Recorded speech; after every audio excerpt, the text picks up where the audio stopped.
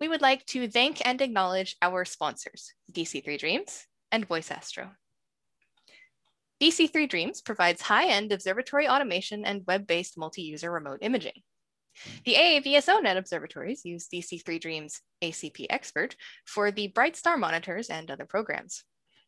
The AAVSO Photometric All Sky Survey project, also known as APASS, has used ACP Expert's AI scheduler to automatically acquire over 500,000 star fields, hands off, at a rate of 1,000 square degrees per night. This has resulted in photometry for over 128 million objects in about 99% of the sky. The Boyce Research Initiative and Education Foundation provides online astronomy education, observatory resources, and research experiences to students, student teams, and schools in order to learn how to perform observations, conduct research, and publish their results in scientific journals, such as the Journal of the AAVSO. Please check out their webpage to learn more about their work. All right, now our first of today's speakers is a professor of astrophysics at the University of Southampton. In the past, he spent time working at the Space Telescope Science Institute in Baltimore and was even awarded a Hubble Fellowship, which he took up at Columbia University.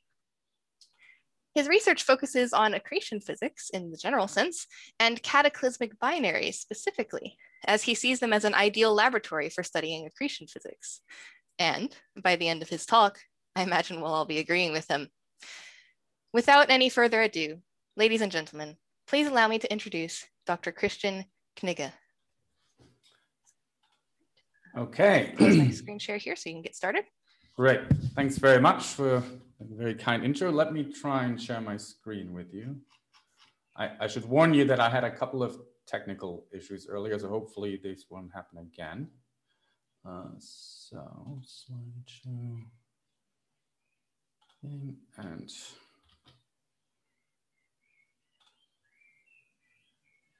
are we? There we go. Is that working? Yes, it is. Excellent. Excellent. Okay, so yes, hopefully there'll be no glitches. So what I hope to talk about today is, is using cataclysmic variables as universal accretion laboratories. And as Lauren already said, that's something that's really close to my heart. Uh, my background really started working in, in, cataclysmic variables, which I think a lot of uh, amateur astronomers know and love. These are accreting white dwarfs. I'll go more into that in a minute.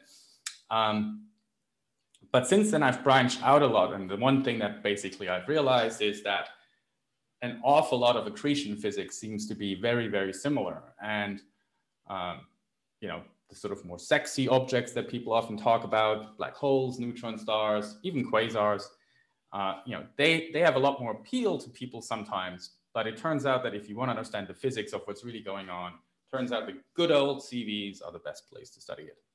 Um, so um, let me just jump straight in. What I'm planning to do is give you a little bit of a uh, primer into what these things actually are. Uh, it turns out there's quite a lot of um, taxonomy, different classes and so on that people sometimes get confused about. And I'm gonna try to make that really easy and tell you what these sort of systems really are, what they're like, and which ones I'm going to particularly talk about uh, and what makes them so useful.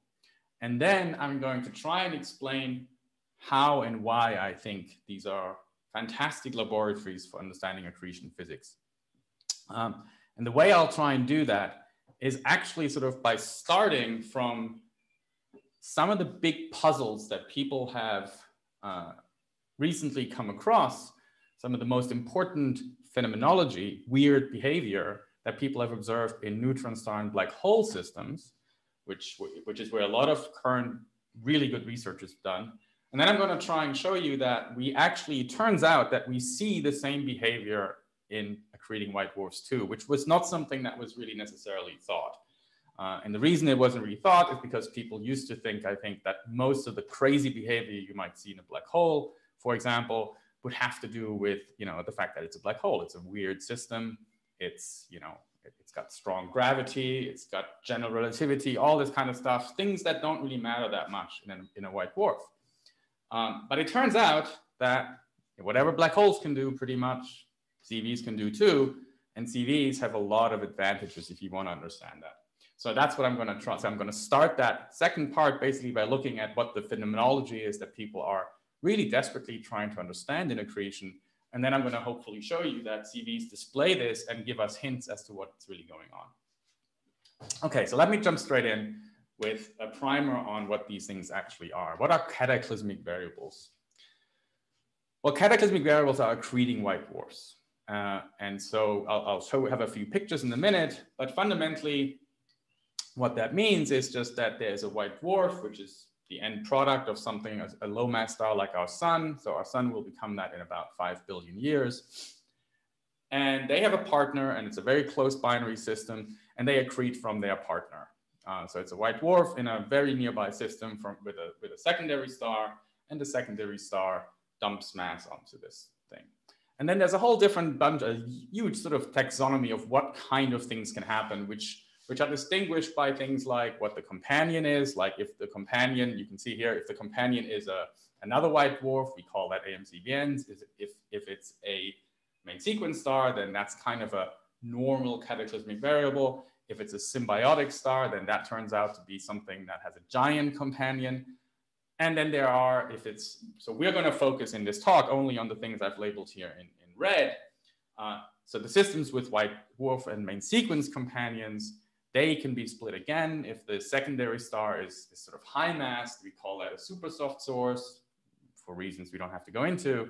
But we're going to talk about the ones that have low mass companions. So the white dwarf in this system is maybe one solar mass, and the secondary star is less massive than that. It's just a normal main sequence star, maybe you know half the mass of our sun or something. And that's the sort of bread and butter vanilla kind of uh, cataclysmic variable.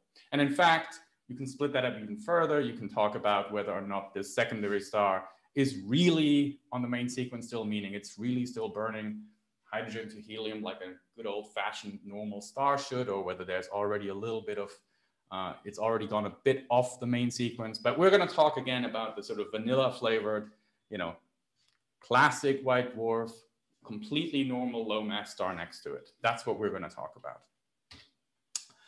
Uh, that's how you can split these things up in taxonomy based on what the components are. Now, the other way to split, the, split them up is by how they behave, essentially, and, and how the accretion process works.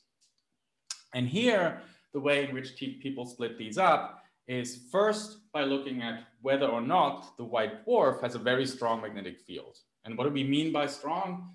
Basically, by whether or not its, uh, it, its presence the presence of the field affects the accretion process. Okay, so we might have a white dwarf that has a field that is so strong that it really changes the way in which mass gets dumped onto the white dwarf. So to give you an example here, uh, if I look at the so-called polars, these are the ones with the absolutely strongest fields. And the sort of system you're then talking about, this should really be a little animation, which may or may not work. Oops. well, I apologize, this animation isn't quite working, but you can actually see what the key things that I'm trying to show here anyway. So this is, you, you can see here the secondary star, which is the big blob. It's dumping mass through the stream onto the little blue object in the middle, which is the white dwarf. And what's happening here is that the magnetic field of this white dwarf is so strong that it disrupts the stream before anything else can happen, really. So basically, straight from the stream, material gets kind of siphoned off onto the magnetic poles of the white dwarf. And that's, we call those things polars. The second type is, is if you have somewhat weaker magnetic field on the white dwarf, but still strong enough to make a difference. And in those systems, you can have behavior like this. And again, I apologize that this animation isn't working, but it doesn't matter too much. Um, what you can see here is again, this matter stream from the secondary star, and it now actually forms an accretion disk. And so the field of the white dwarf still matters, but only at the inner edge of the disk. And you can probably just barely see this here, that if you look in the sort of center of the disk, you can see in the middle, there's this sort of accretion curtain thing sort of raised above the disk. And so here, that basically the field from the white dwarf truncates the disk. So you have a sort of partial accretion disks in these systems.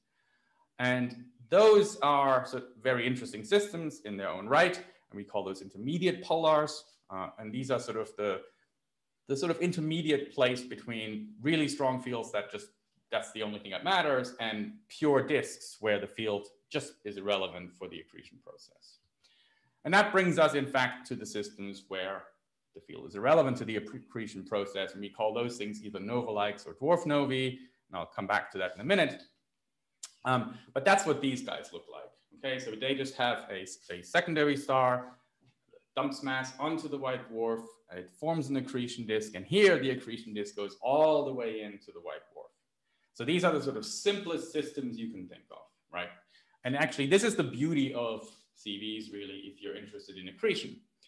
It's that, you know, we've understood how this process, accretion, how this process should work in, in, this, in its simplest setting for, oh, I don't know, maybe 50 years now or something like that.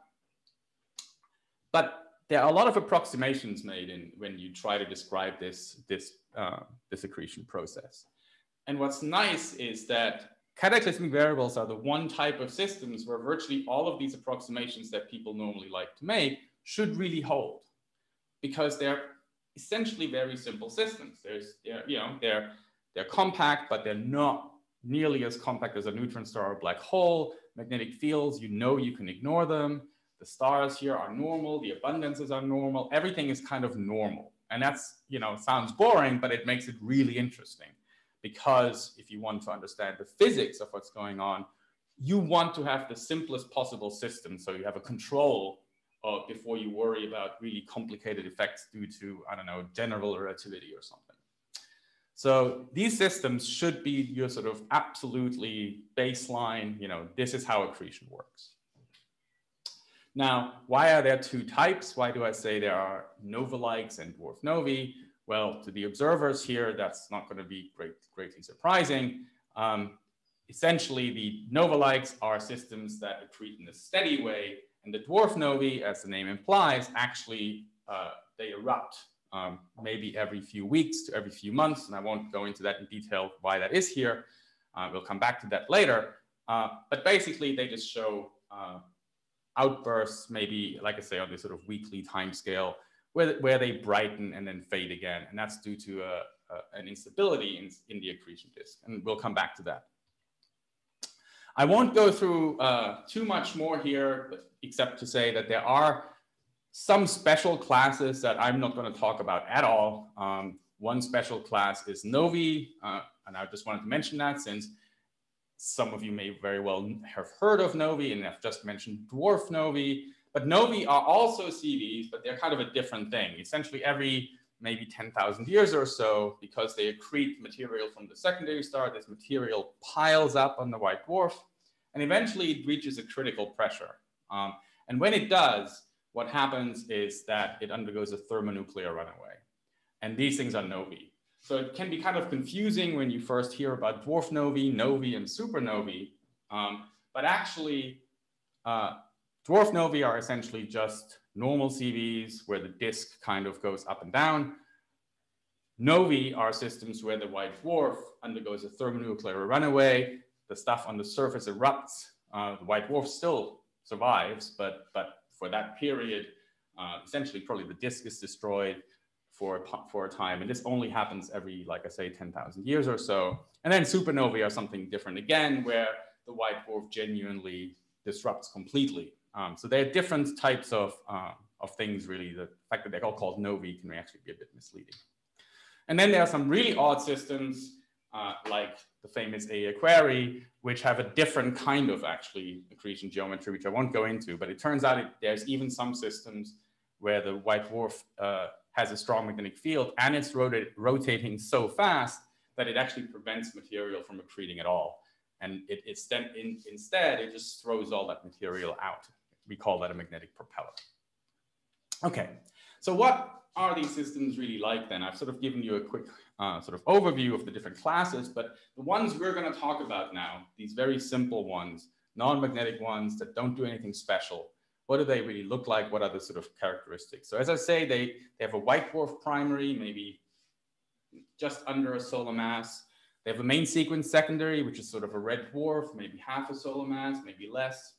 Um, What's really nice is that their orbital periods are on the order of a few hours, right? And that's great. That's probably also why a lot of you have observed them and are still observing them because that's just fantastic for, for an observer. We, we like things that change on timescales that matter. So CVs are fantastic because they actually might show orbital variations on the timescales of a single night. Um, and then if there's things like dwarf novae, they will show dramatic outbursts on timescales of a few weeks, which is fantastic, right? So from a purely observational point of view, that's beautiful. Now, again, as I've said, these things uh, accrete via an accretion disk around the white dwarf. This accretion disk is really what we're interested in.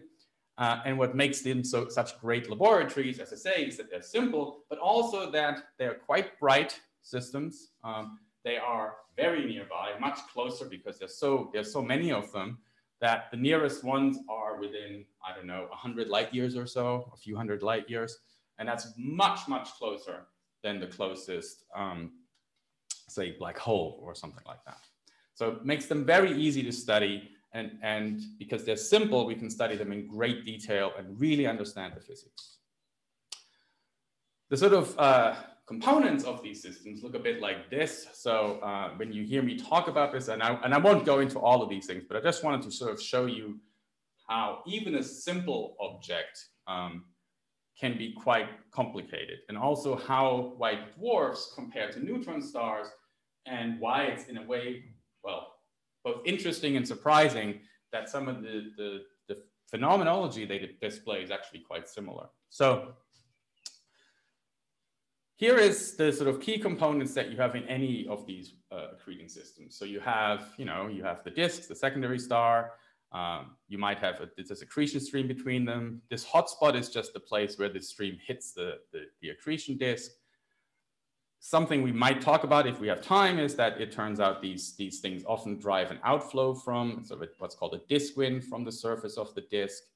Uh, systems might have jets so they might actually display, drive radio jets from the very center of the, uh, of, the, of the accretion disk. So these are highly collimated things. They emit mostly radio. This is distinct from the disk wind. Um, between the disk and the central object, there might be something called a boundary layer because nobody quite knows really how that works. Like how do you really transition from a normal accretion disk to, a, to, a, to the compact object? So there's an awful lot going on. And then also the disk and the white dwarf, actually, because they put out a lot of radiation, so they will actually heat up the surface of the secondary, uh, and that can also cause observational effects. So there's a whole bunch of different things going on in these systems. So it's not, you know, I've made them sort of sound simple, but even in simple systems, there's a lot happening. Now, what's interesting is that you can sort of see how between white dwarfs and neutron stars and black holes, for example, you might expect these things to be you know, somewhat different. Uh, for, as a good example, jets are things that people really had only expected to be present in neutron stars and black holes because we think these must be some sort of relativistic thing. You'd think, you know, people think that maybe the spin of the black hole is critical to make a jet. Um, also, we might think that this heating effect might only matter really in neutron stars or black holes because they emit much more X-rays, uh, and that's really much more suitable for doing that. And just to sort of show you, uh, again, sort of both the pros where these things kind of emit. So in, in basically all systems, the things on the right here, so the secondary star, the hotspot, the outer disk, all of the radiation here comes out always in the optical or maybe the infrared, maybe sort of the, the ultraviolet still. But that's the same in all these different systems. It's the same in neutron stars, it's the same in black holes, it's the same in white dwarfs. And that's just simply because ultimately all the energy, you know, the, the secondary stars are the same, the rate at which material gets transferred is comparable. Uh, and in that sort of outer disk region, the material doesn't really know whether the central object is a white dwarf or a neutron star or something else. So all of the behavior here is more or less the same, and it's basically all emitting in the same kind of region of the spectrum. Things get different when you look uh, at what's happening closer to the center. So here, it turns out that because the disk, basically white uh, neutron stars and black holes are just a lot smaller than, uh, than white dwarfs, so the disk extends a lot further in, and that means the disk in in white dwarfs can really only emit maybe ultraviolet, but in neutron stars and black holes, it emits a ton of X-rays. Okay, so that's a that's a big difference. Um, again, then you might talk about the central object. What happened? You know, what does it emit? Well, if it's a black hole, it emits nothing. It's a black hole. Uh, if it's a neutron star, loads of X-rays. If it's a white dwarf, probably only ultraviolet again. So again, fairly big differences there that you would expect to make a difference to all kinds of things. If you look at that interaction region, uh, again, we know that that is purely X-rays in black holes and neutron stars, but it's, it's really a bit softer and more ultraviolet in the white dwarf systems. And then finally, disk wind signatures. Uh, we now we've seen these now, and we we think these should be in the X. These are only in X-rays in neutron stars and black holes. Although there's recent work that suggests maybe that's not even quite true. Uh, but mostly that's where they are seen. And in white dwarfs, we mostly only see them again more in the softer optical UV. And the theme here, of course, is always the same in all of these things, that basically anything where you're looking at uh, the inner parts of the accretion flow in neutron stars and black holes, this inner part is much closer in and therefore much hotter and emits much higher energy radiation, more like X-rays. Whereas in white dwarfs, which are larger, you, it always comes out more like ultraviolet. And then finally, we have the radio jet, which you would expect to be mostly radio. Uh, and in white dwarfs, of course, there's even a question whether they should have radio jets. Uh, because, you know, could you even have a jet in a system that isn't relativistic? So let's talk now about why I think these things should be such great, are in fact such great laboratories for understanding accretion. So uh, here, this slide again, I apologize, this isn't really, looks like I'm having some trouble with the animations in this, in this uh, display. Doesn't matter though. I've mentioned earlier that dwarf novae exhibit these eruptions uh, on timescales of you know a few weeks or so. And that's due to an instability in the accretion disk. Now, it turns out black holes and neutron stars do the same thing. So there are black hole and neutron star, uh, black hole and neutron star analogs to dwarf novae. And what's really interesting is that, that people, I think, have realized for quite some time that the physics of this is probably the same. But what's really interesting as to an observer is that if you compare, and again, I can't quite let me just see if I can actually just briefly go out of this and see if I can show you this. Yeah. Let me just delete this for a minute, just so you can at least see this.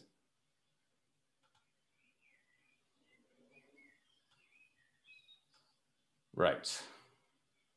Let me delete this. Real-time surgery, that's not really what I intended to do, but it'll work. So what I'm showing you on the right here is a light curve of a particular um, black hole binary. And you can see it shows that it shows again sort of a, you know, a, a, this is what we're looking at here is essentially brightness on the y-axis and time on the x-axis. And there's really quite few systems where we have seen more than one or two or three outbursts. There are a handful, but there's not many. And you can see that data is pretty sparse. You know, we don't, we don't have great data on this. We can see that they go into outbursts, they decline from the outburst. But whenever I give a talk to people who study neutron stars and black holes, I always make a point of putting up the light curve on the left, which is SS Cygni, which should look very familiar to most of you, because that's, of course, from the AAVSO database. And, and I think it always comes as a shock to people who study black holes and neutron stars that we have data of this kind of quality for this amount of time on the same physical thing, which is this disk instability that they are interested in too. And so we still, you know, we understand the basics of how this instability works. We have done for quite some time, but there's lots of details, as I'll show you in a minute, that we don't understand.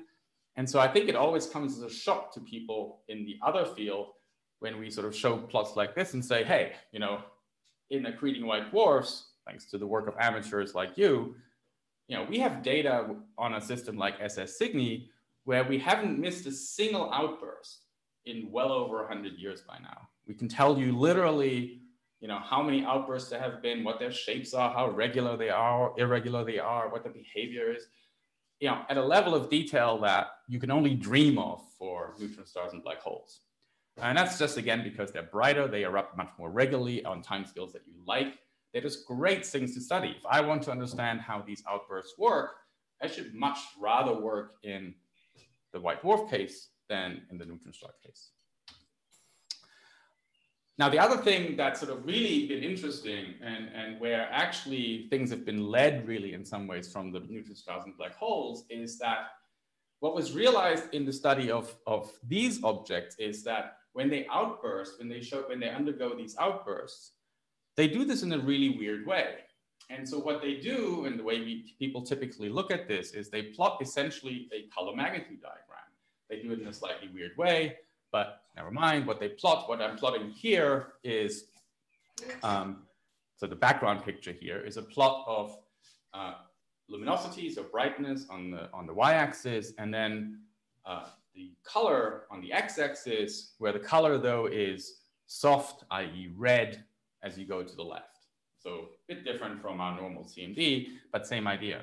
But the point I want you to notice, and I hope you can see my cursor, is that uh, the way an outburst progresses is it starts from down in the bottom right corner, and then a system basically brightens and goes straight up.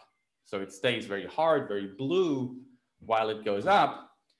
Then it goes very quickly across, becomes very soft, okay? And then it stays there for a little while. It then fades down here. It fades while it's still soft and then transitions back to the right and then goes back into quiescence.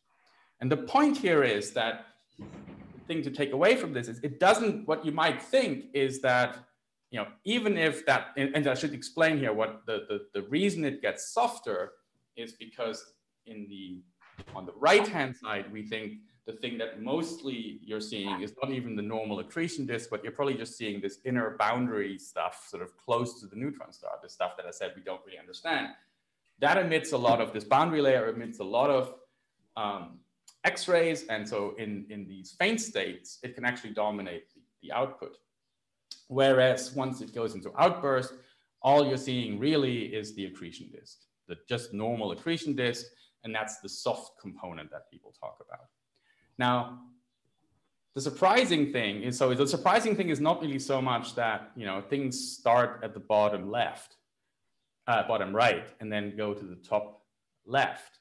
The surprising thing is that they don't do that in a diagonal line up and down, right? The surprising thing is that they go up, across, and then down, and then across again, and they don't follow, and they don't even follow the same track. So they go, you know, you go from the hard to the soft bit, to the disk dominated bit, at a much brighter uh, level of, of luminosity than you do on the way back. That was not expected at all. We, we still, to this day, don't understand why this is happening. Um, and it's what's called in physics in general hysteresis. Hysteresis just means uh, the path taken up and down something is not the same. And what's really interesting is that we now think that this is quite universal behavior in lots of systems. It's universal, even, even quasars might do this. In quasars, the timescales are way too long for you to see this in any one system, but people have basically made attempts to study this in different classes. So the idea there is that different classes of, of uh, galaxies and quasars might correspond to, for example, dwarf novae in outburst and dwarf novae in quiescence. And it turns out that there is some, there seems to be some merit to this. Again, here's a plot that just shows you a sort of similar diagram constructed from different classes of, of active galaxies, of quasars. And it seems like it has that sort of characteristic Q shape. So there's a hint that maybe they do exactly the same thing. Um, associated with this phenomenology is, and what sort of what makes it so interesting, is that in the neutron stars, it turns out almost everything about the way accretion works in these objects depends dramatically on, again, I think my, so I'm just going to try and share instead of this, sorry, excuse me, just realizing this is just not working right. I'm gonna see if I, if this is better. I have a version of this, luckily, as a PDF, which might actually at this point be preferable. Yeah, try this. So let me just see if I can do this. Uh, I apologize for this.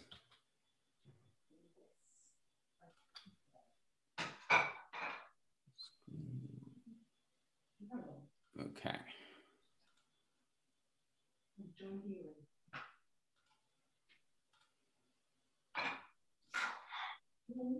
Sorry about that. So hopefully that works. Um, so yeah, so it turns out that almost everything depends on where you are in this diagram. So almost everything depends on whether you're in, you know, on the left part of this diagram or on the right part of this diagram. So it turns out, for example, that when people try to track, and so by, I should, by the way, say that I'm going to refer occasionally to things like the soft state and the hard state. And by hard state, I just mean essentially the system when it's over here on the right of this diagram, and soft just means over here. And you can think of hard and soft simply on whether the accretion disk dominates what's going on or this inner you know, boundaries fluff, hard X-ray emitting fluff that we don't understand at the inner edge of the disk. So what's turned out to be the case in neutron stars and black holes that we didn't really realize until fairly recently is that everything changes as you go from these into these different states. So it turns out that the variability properties change dramatically. So all of you who study CVs know CVs flicker all the time. So they just random, randomly vary by maybe a few tenths of a magnitude. Well, it turns out all accreting systems do this, but what, what, what we've learned from neutron stars and black holes is that they do this in this sort of very systematic way.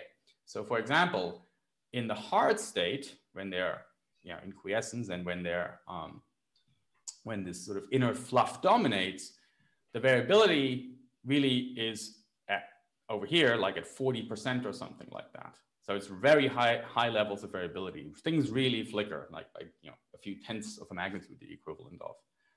But then what happens is systems then go from this hard state into the soft state. And so they, again, they kind of get brighter and then transition over to this left, left side of this hardness intensity diagram, the color magnitude diagram.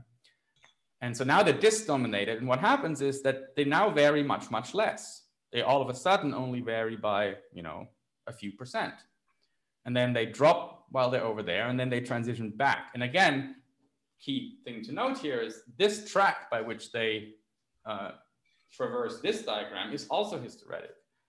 So they don't, again, it's not just that the hard and the soft state kind of have different variability properties, but the way they uh, traverse this track is again different on the way up than on the way down. And again, that's not understood, but it means that everything is related to this state. Um, I won't, I'll skip this here. We also know that in, in neutron stars and black holes, radio jets uh, are seen only when the system is in the hard state. So when the system is on the, on the right of this diagram. Once it becomes dominated by the disk, the jet disappears. Uh, so for those of you who already know dwarf novae, so that would mean yeah, you would see that you wouldn't you wouldn't expect to see a jet when the dwarf nova is an outburst. You would only expect to see the jet when it's in quiescence or maybe on the way up. There is where I've put this little um, uh, red explosion thing. Usually what actually happens is that as the system gets bright and stays on the hard side, it, the jet, the radio emission gets brighter and brighter. And then as it crosses over, there's this sort of magic line that sometimes people call the jet line where there's a bright outburst where you make, sometimes you can even see a resolve, you know, blobs moving away from the system, which is like little bits of a jet moving away from the system. And after that, it switches off completely. And so then there's no more emission at all over here. So again, everything seems to be correlated to where you are on the outburst.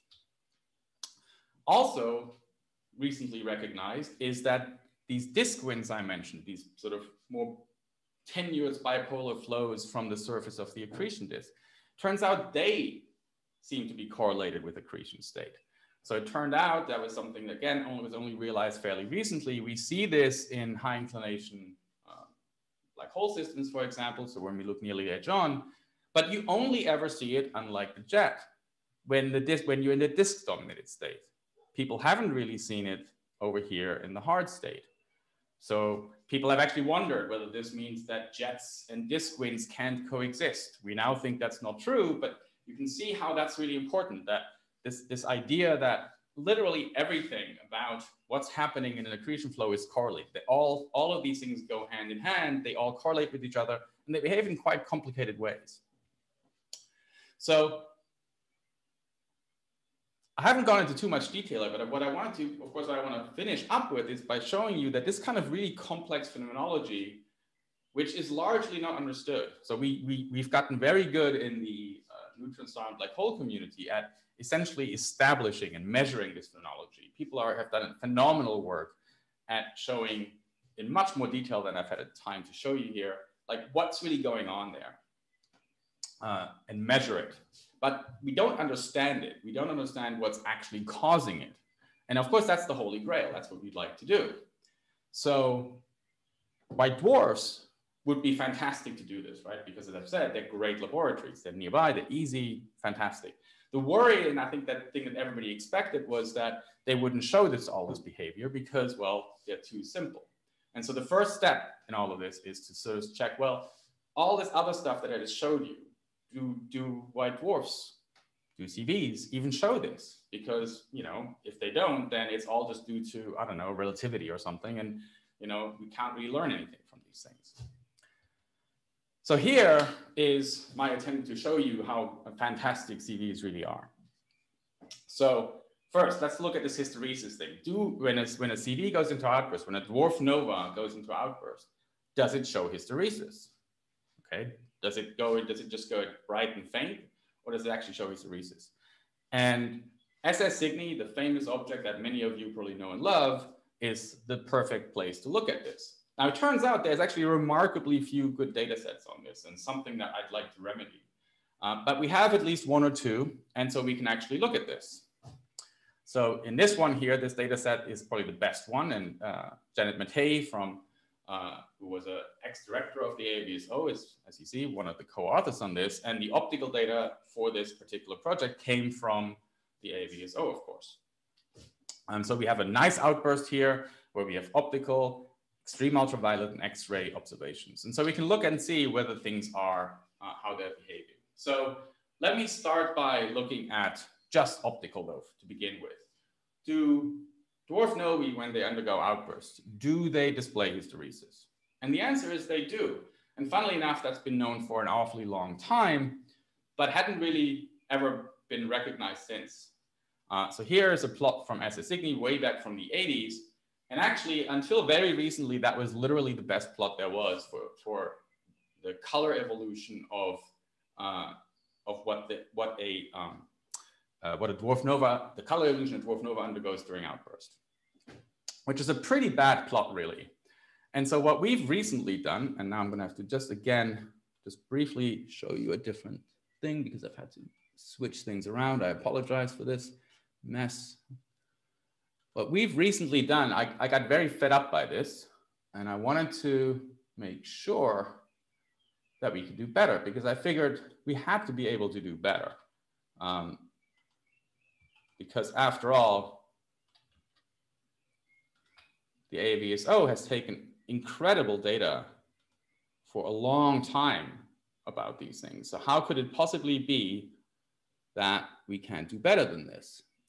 And the answer is, here we go. And the answer is we can do better. I think hopefully you can see this. So just last year, basically, or a couple of years ago, uh, I trawled through the archive of the AAVSO and I found a couple of data sets taken by people whose name you might know and love, uh, Josh Hamp and uh, uh James, Robert James, sorry. Uh, and basically that was an amazing thing because here is what they looked like. So their data sets looked like this, and they had multicolor, they had B and V.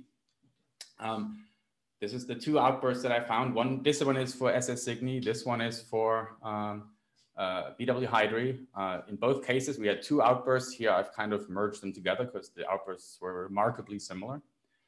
And here is what they looked like when you make a color magnitude diagram. And it's really incredible, right? It's, it's hysteretic. It's beautiful hysteresis. You can see how it does, uh, what it does. Um, here's the other one. This is VW Hydri.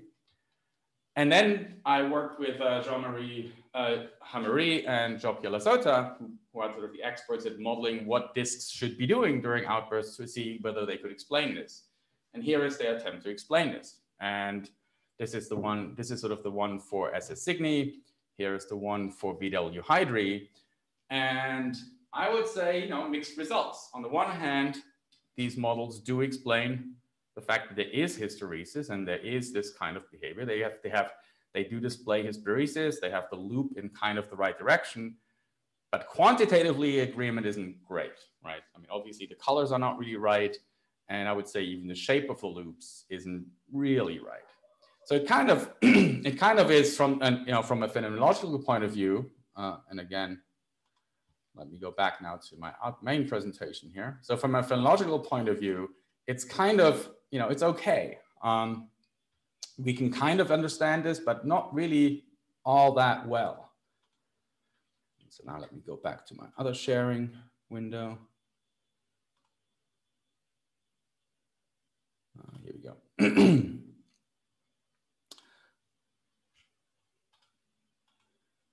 And so AAVSO data was absolutely instrumental in this. And I think it's, it's really the state of the art right now that we have because this kind of data is very difficult for professionals to take.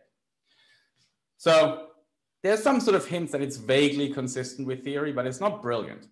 what about X-rays? Do X-rays show hysteresis as well? And the answer is yes, they do. We see hysteresis, but it isn't really hysteresis like we see in um, quite like we see in, in, in black holes and neutron stars. And really the trouble is that we don't quite know what the right diagram is. If I want to compare a CV to a neutron star or black hole, what should I really be comparing? That's probably been the biggest question that we've been facing with all of this.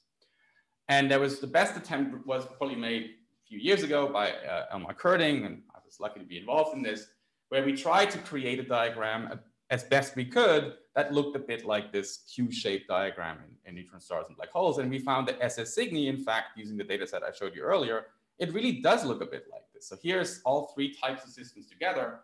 And it's really remarkable how similar they look. Unfortunately, today we think maybe that's wrong. Uh, and I don't have time really to go into this, but we, we now think that in some ways this might have been a lucky accident. Uh, really irritating. If you want to know more about this, let me know. Doesn't mean that the behavior is necessarily different, but it means that this particular uh, plot is a bit over optimistic. Nevertheless, the fundamental point I want to make is that do these things show hysteresis? Yes, they absolutely do, and quite complex one too. What about variability? Do they show a similar kind of variability? And the answer is yes. In fact, what I'm showing you here is two light curves, right, on the right. And I would say you couldn't tell the difference between these. This is, this is just flickering light curves. In the top, you see a white dwarf. In the optical, in the bottom, you see a black hole in X-rays. And you know they're, they're identical. The time scales are different, but if you didn't know that, you would just say they're the same kind of system. And so again, flickering seems to be very much the same.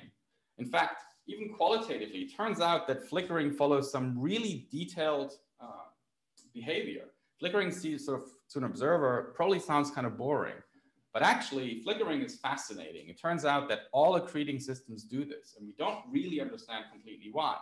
One thing they do is that flickering, the strength of flickering, has a linear relationship with how bright the system is. So it turns out that if you simply measure the scatter in your light curve when the system is bright, what you'll find is that that scatter will be much larger when it's bright than when it's faint which is really something that sounds perhaps silly, but it turns out it rules out a whole class of models for this. And it turns out all systems look the same. Here are, here are black holes, neutron stars, and AGN. Uh, and I won't go into this. But then recently, Simone Scaringi showed that CVs do exactly the same thing. Bottom panel here is, again, this relationship between variability level and, and brightness, perfectly linear, exactly the same. And again, I'll skip this. Uh, in fact, even quasi-periodic oscillations. We see a lot of oscillations in neutron stars and black holes, again, origin of which is not always understood.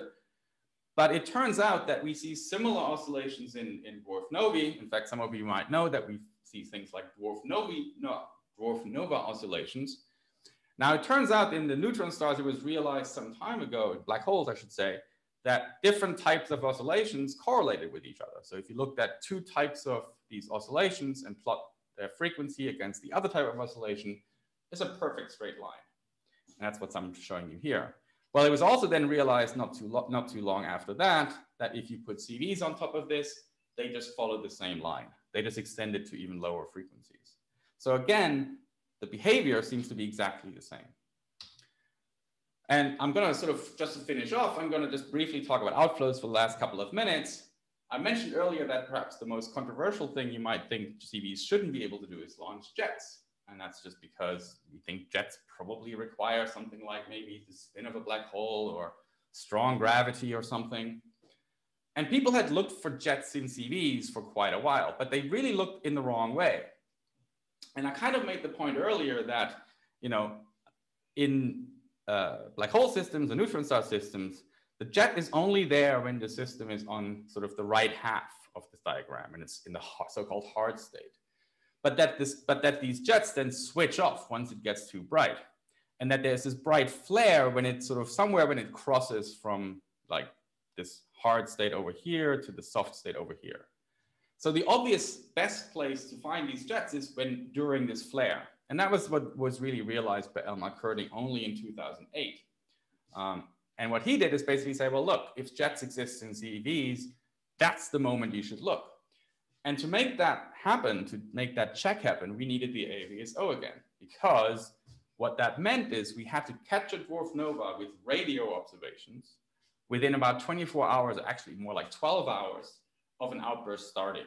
And none of us could really do that. We needed amateurs to just monitor the system, tell us, okay, outburst is happening now, and then we had to immediately trigger radio observations. So we did that. And sure enough, we found a huge radio flare in the system, the very first attempt we managed. And again, amateur astronomers were critical to make that happen. And that was a really big deal because it immediately ruled out, right, that you know, all this stuff about, you know, black hole spin being the critical, you know, thing to make jets happen. Well, clearly that's not true because, you know, CVs can do it. I'm going to skip this quiz here because I think I'm running out of time. If you want to ask me about this, feel free. But so I'm just to finish then, really what I've been trying to show you is that what's remarkable is that all disk accreting system, and this includes CVs, and CVs are easy by comparison to neutron stars and black holes. But all of them seem to show just such remarkable uh, similarities. Everything from the fact that they do display outbursts to the hysteresis these outbursts show, to whether or not they have jets or disk winds, to the variability they produce. Everything seems to be sort of the same, scaled versions of the same, and they behave in very much the same way. So what that suggests is that the accretion physics that drives all of this, the way in which accretion disk works, really is universal. It's the same in all of these systems. And it doesn't even require, you know, ultra strong magnetic fields as you might expect from neutron stars or strong gravity and, gravi and, and general relativity as you might expect from black holes. Those things might be added bonuses in some, in some settings.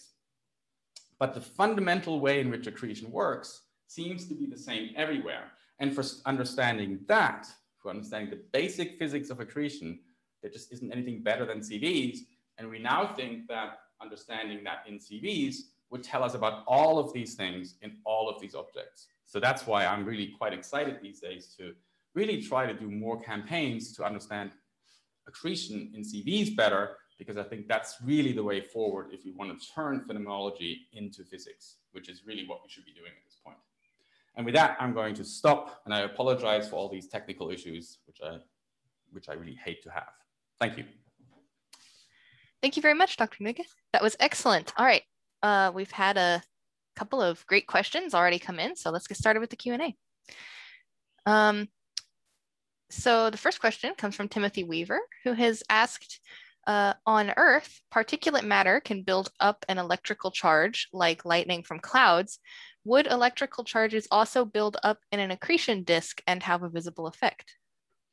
Yeah, so that's a that's a good question. And the answer is that in accretion disks, Um, in, in, fact, in pretty much all of these systems, the, the typical temperatures you encounter are sort of on the order of a few thousand degrees to, a, you know, more like tens of thousands of degrees, something like that.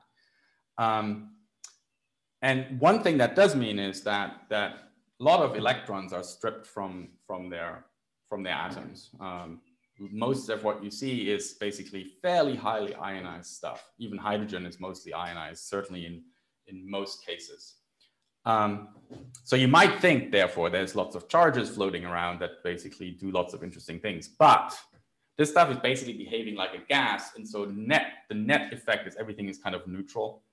Um, all that said, there are some ideas for how this might matter. And certainly magnetic fields can matter. And I've kind of ignored this here. And of course, for magnetic fields, then charged particles are critical to make, you know, to, well, magnetic fields can essentially guide the motion of charged particles. They have to be charged. So there, that's an example of something where the charges really do make a difference. And I've kind of glossed over this a bit here. Um, but so not, I would say the way in which this matters is sort of different from the way it matters in the example described. So we don't really think that charges accumulate in quite the same way. Uh, but the fact that they are charges and the fact that there are free electrons floating around, for example, does make a difference to some physics. Okay, thank you. Um, okay, speaking about magnetic fields, our next question comes from uh, Chuck Orovec, who asked if the strength of the magnetic field of the white dwarf is determined by the mass of the progenitor star or something else. Again, excellent question. Truth is, nobody really knows. Um, it's, it's, it's actually a bit of a mystery. Uh, CVs are really interesting because from them, we, in many cases, we can measure the strengths of these fields. And we know that in, I didn't give numbers in actual of actual strengths, but for those of you who might know about this, so the sort of this dividing line between what's weak and what's strong, like where does it matter? It's probably around, I don't know, 100 um, megagauss or something like that, uh, something like that maybe. Um, but it's still megagauss this region, so quite strong already. But the thing is, the range of, um, sorry, few megagauss, not 100 megagauss, that's, that's too strong. But the range of, um, of fields we see is huge. We see in weak, you know, weak fields are probably less than 100,000, and then they go up by at least a factor of, I don't know, 1,000 or 10,000. It's just not clear how that works. What determines the strength of this field? Mm -hmm. um, it probably, in, in most cases, it probably is to do with the progenitor but what determines it is not at all clear. Is it rotation? Is it something else? Um, there, there are thoughts that at least the very strong field ones might all have to do, might all have been objects that actually merged already. Um, so they actually didn't start, they, those did might not have not even started life as single objects that became white dwarfs, but maybe they already merged white dwarfs. But in truth, this is not understood. Uh, and I think that field of like what determines the magnetic field strengths of, of white dwarfs, I think is not, it's not clear because the variety is, is, is much larger than you might naively expect, I think. Interesting. Sounds like a case for more observations to me. Yes.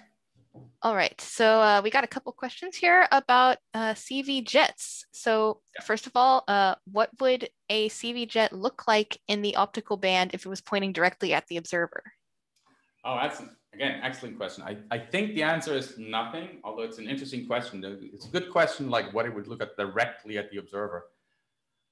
I think probably still nothing, uh, and the reason is that these jets are they're probably important in lots of different ways, but but they are quite um, what we call optically thin, so they're quite you can basically see right through them, um, and they emit mostly synchrotron radiation. So in fact, they emit radiation where the, to do with uh, electrons spiraling around field lines. And all that is pretty much coming out at radio wavelengths. Um, so not very much actually happens in the optical, we think. Um, in, in black holes and neutron stars, sometimes uh, you can see things leaking out into maybe the infrared or something like that. But in CVs, I, I don't think there's much of a hope of seeing them optically. It would be, I'd love it if we could, but I don't think there's any hope. Good answer, thank you. Our other question about jets uh, is why do why do they form and emerge out of CVs? that again, million dollar questions. I mean, I, nobody has a clue. I mean, in fact, jet formation in general is just not understood. Jet formation, even in, in neutron, again, in black holes and neutron stars, people have, there's a few models out there that people understand, and well, understand theoretically, doesn't mean that they're necessarily right in, in nature. But, you know, again, one of, you know, a very, uh, a very um, popular model, for example, exploits the, the spin of a black hole to launch a jet, essentially. It extracts energy from the spin of the black hole. What CVs seem to show, and I'm have to be a bit careful here, I don't want to oversell this, right? I mean, we, we do see radio emission. We're, we're increasingly sure that in CVs, when we do see these radio things, that they are jets. Um, so that's good. And I really think that means something. But we have to be careful, right? That doesn't necessarily mean that the mechanisms for launching them are exactly the same. There could be more than one mechanism. Mm -hmm. That said, if they are the same and if the phenology is very much the same, it does suggest that maybe maybe in black holes and neutron stars it isn't those mechanisms because you can't you know you can't do that in CVs. CVs do not have the spin energy like that that you can extract via that mechanism. Um, so actually, I think jet formation is is something. It turns so the reason I should say why jet formation is so difficult as well is because it probably involves a whole host of horrific physics. I mean, good physics, of course, but horrific in how complicated it is. So the sort of simulations people have to do in which you try to predict how the jet forms involve a huge range of scales. Uh, that's already really bad. And they have they also in, involve a huge range of physics. In black holes, for example, you really have to then include, you know, general relativity, usually radiation pressure, usually all you know all kinds of other things, and it becomes just very difficult actually, that's one of the reasons, again, as I say, why I think CVs have such promise as, as laboratories, because you can ignore a lot of that stuff. In mm-hmm. CVs, you can pretty much just say, look, no, it's a white dwarf. you know, we know how white dwarfs work. You have to find a way to make that little system launch a jet. And that might be sort of the clue, I think, that we need to make progress. But at the moment, we genuinely don't know. And in CVs, we probably have, I don't think we have any model of how this might work in CVs other than maybe via ordered magnetic fields. Um, and then it just basically pushes pushes the ball one further bit on and you know why are the why are there ordered magnetic fields? So. Well that's very interesting and again a, a, case for more observations. Yeah. Now um our next question is coming from patrick kavanaugh who has asked uh, in cvs the magnitudes change during accretion cycles.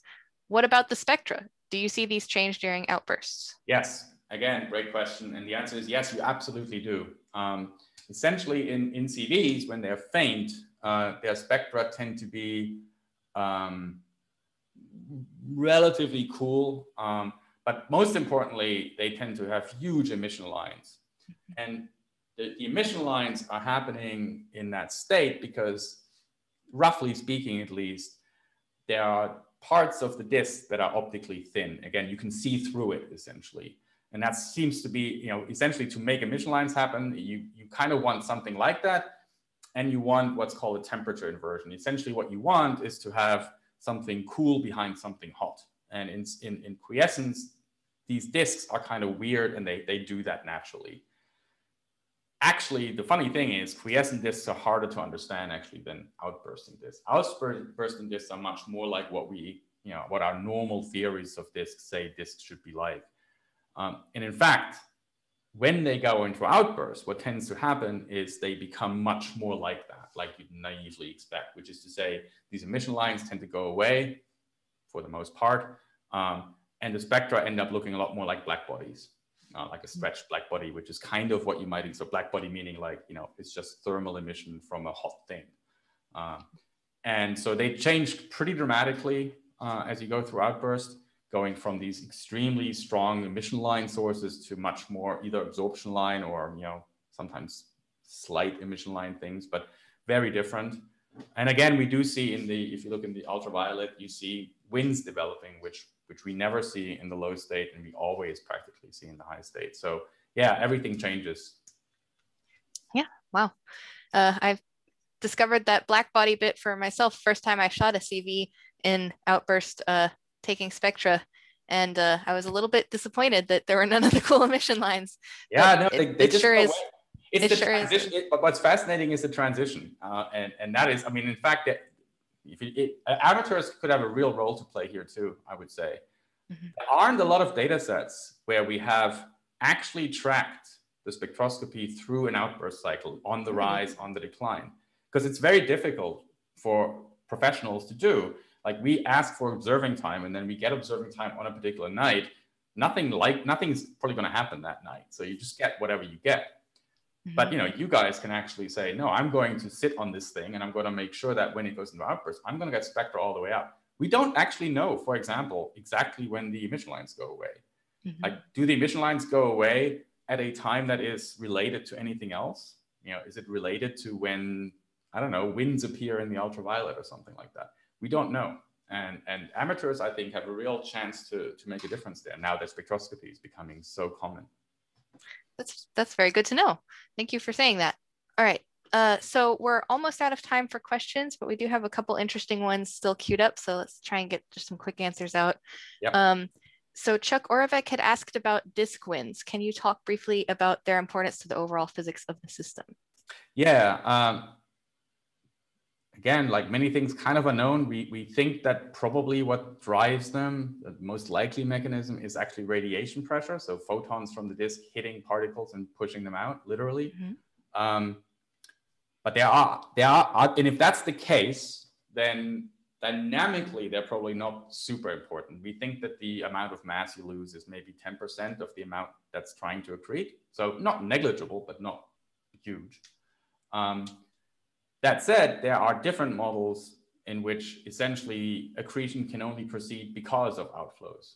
So essentially what happens there is that it's really, there isn't really, normally we think accretion happens because you have sort of turbulent friction in the disk that allows things to spiral in slowly. But another way in which you can do it is actually by having the outflow carry away all the angular momentum as it were. So essentially you, you instead of instead of having friction in the disk, you kind of use the outflow as friction. Um, if that's the case, and I don't think it is, but if that were the case, then accretion could only proceed because of the outflows. And actually understanding what, and for this, one of the goal, you know, holy grails is really understanding what is driving the outflows. Is it radiation pressure? Is it magnetic fields? Is it something else? Because once we know that, then we can actually say, okay, they matter in this way, but not this way. Um, at the moment, we, it's not clear. Interesting. That seems to be my refrain, by the way. I yeah, the answer seems to most questions seems to be I don't know. All right, uh, two more questions, and then we're going to move on to the next presenter. Um, so first question, what do you think could be the reason behind flickering? Is it uh, a change in mass transfer rate, a change in uh, disk viscosity, disk viscosity?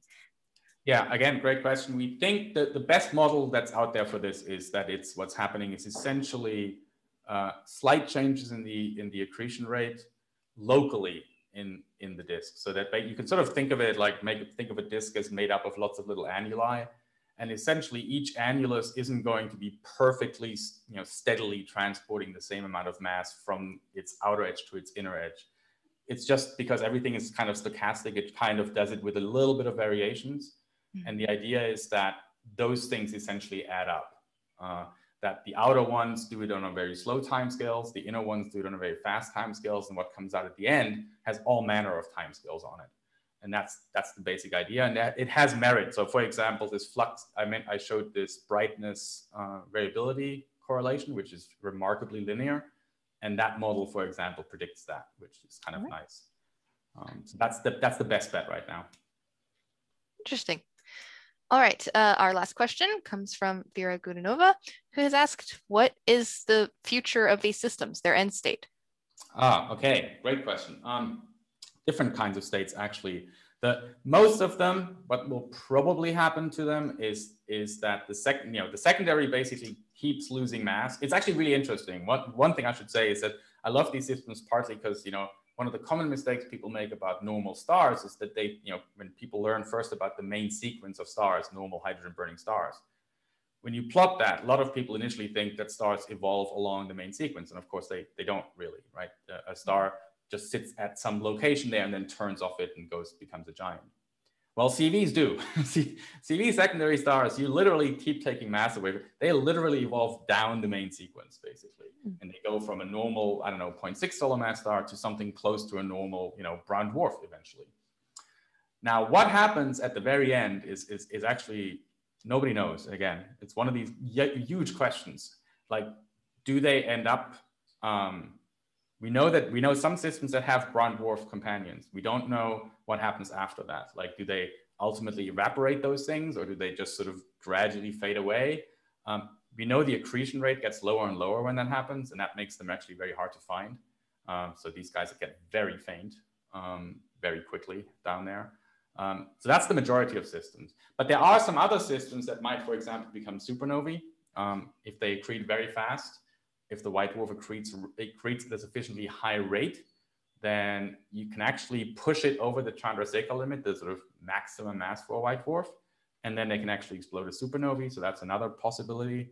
Um, those are probably the two most interesting ones, I think. Right. Thank you. Great answer. All right. Uh, now I have a comment that I just want to read out that came in from Elizabeth Waagen, who said, Thank you very much for your fascinating presentation. And when you're ready for your next observing campaign, just let us know and the AAVSO will be more than happy to participate. I always do. All right. So uh, if you can go ahead and close your screen share out real quick. I will um, do. Thank you. And hold on while I go to the participants window. Thank you, Christian. Oh, thanks, Stella. Hey, Bye. All right, so um, next up, we're going to be hearing about spectroscopy from Francois Cochard, who is coming to us all the way from France. Francois is an amateur astronomer and the co-founder of Shelyak Instruments. He's had a major hand in the production of most of the astronomical spectrographs in use by amateurs today, including the LHIRES 3, the Alpy 600, and the UVEX. So to say that he's an expert on spectrographic instrumentation would be putting it very mildly. Luckily for us, he also has lots of experience teaching as the organizer of the world's premier spectroscopic star party and a frequent presenter at other educational events, including SMSW2, which was the predecessor of the AAVSO spectroscopy workshop and also the event that got me into spectroscopy. Hmm. well, uh, that's enough out of me. So, Francois, take it away. Thank you very much, Lauren. Um, hi to everybody. Well, I will share my screen. Of course, I'm, I'm very happy to be with you.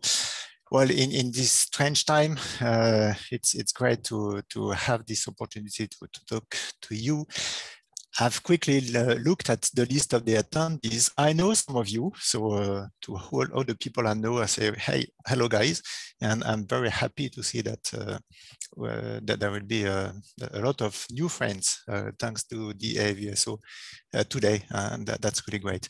So I think uh, I will, I will talk about spectroscopy. And uh, my idea, I, I, think that most of you uh, are uh, just new to spectroscopy, to practical spectroscopy, I mean. And then uh, I will try to answer this question. So if you want to jump into spectroscopy, so which hardware do you, uh, do you need to, to, to do which observations? Okay, so this is, uh, this is my idea tonight. And, and, and of course, you will ask as many questions as you want. Okay. Um, I would, I'd like to say, well, the, the agenda is very uh, uh, basic. Uh, we, will talk, I, will talk very uh, briefly about spectroscopy. Uh, I, I, do consider that you, you, you know uh, roughly what it is, and, and then uh, I will just have a, a quick uh, a one picture uh, story. And then I, like to go to the main keys, I think, to, to choose or select which kind of in, hardware you, or instruments you need to do spectroscopy. So the first one is your personal goal. The second one is the technical constraints uh, that you may face uh, with spectroscopy. Of course, the, the, third one is your budget, and, and this one is obvious. And uh, I, I, will uh, finish by uh, talking about uh, two newcomers in the instruments landscape, which are the, the UVEX and also the SOLEX instruments. I think these are very interesting instruments. Okay. So um, uh, let's talk about spectroscopy. Um, I like the idea to do it in one picture. Here is the picture. I guess that um, uh, you are familiar with this kind of uh, image. Uh, it, it, was taken a few years ago with a very basic DSLR, uh, and, and uh, it is in, in the constellation of the Cygnus, it is in the Milky Way, so of course it is very cloudy. Uh, and, and when you are doing imaging or um, you know, even photometry, you, you, can see this kind of, uh, of uh, landscape of uh, image. Now, uh, when we are doing spectroscopy, we are not uh, looking at, at all these stars like this, but we could be interested in one given star. For instance, this one, this small one here, uh, uh close to, to the cursor here and uh, and maybe because this one is a, a, a, variable star. And this is something that i want to to tell you especially uh, you the AAVSO members is that you have to understand that with the spectroscopy you will not only find that some stars are variable which is of course the, the, the main uh, activity of the AAVSO but you will you will work on um, understanding why they vary. And this is something which is really, it gives a new dimensions uh, to the uh, uh, to your observations and, and to the uh, to the knowledge we have about uh, all these stars. So this is really um, uh, doing spectroscopy is for me very, very natural for you, the AAVSO members.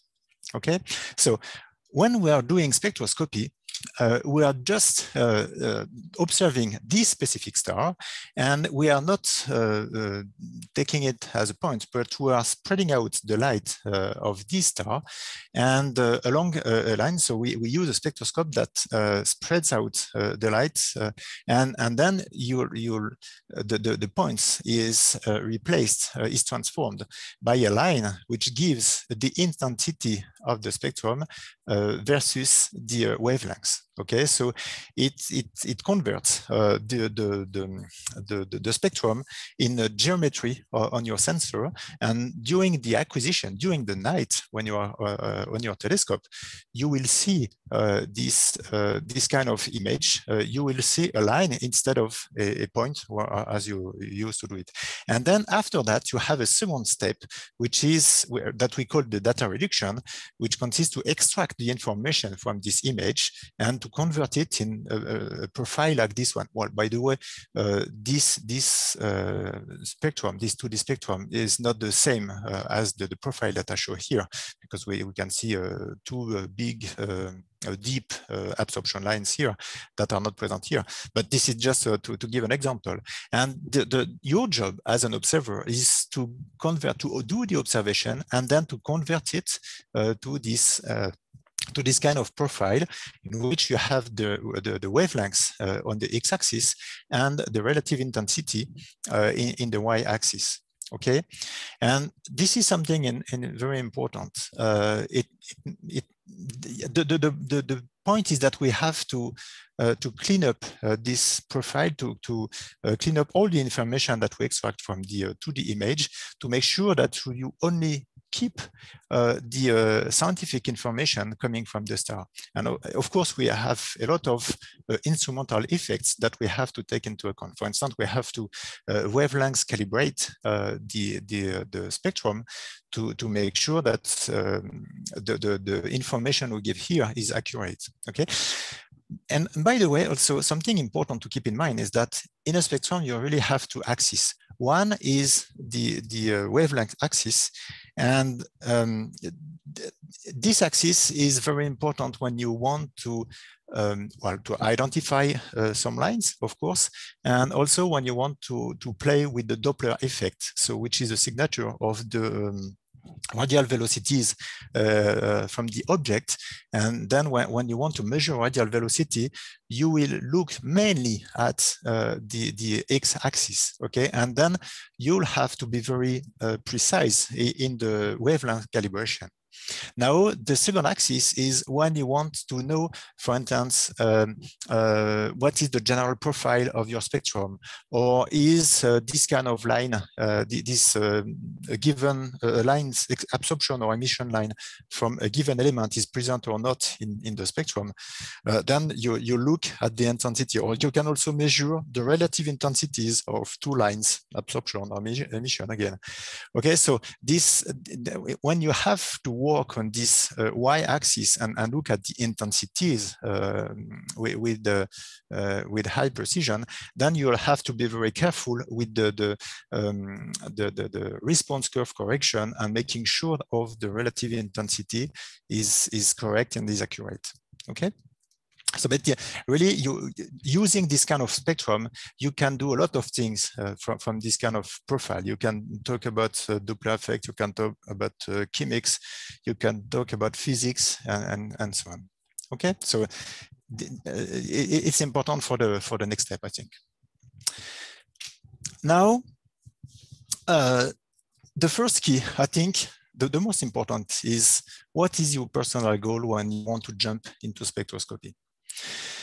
I think that the, for me, there are two categories of people. The, the one uh, who knows uh, what, what they want to do and, and people that, that they don't specially want know what they, they want to do. They just want to discover spectroscopy and, and that's it. In fact, uh, for sure, if you want to define what is the best configuration, it's better to know what kind of observation you can do. Because if you know what you want to, to observe, then we, we can discuss about what are uh, the, the key parameters uh, for, for your instrument. But there is a lot of people who just want to know how it works and uh, what, what you can really uh, observe what you can really see with your instruments. And and then you and, and you are curious and you want to see about uh, to, to, to look at all the different uh, objects that you have you are in you have in, in the sky.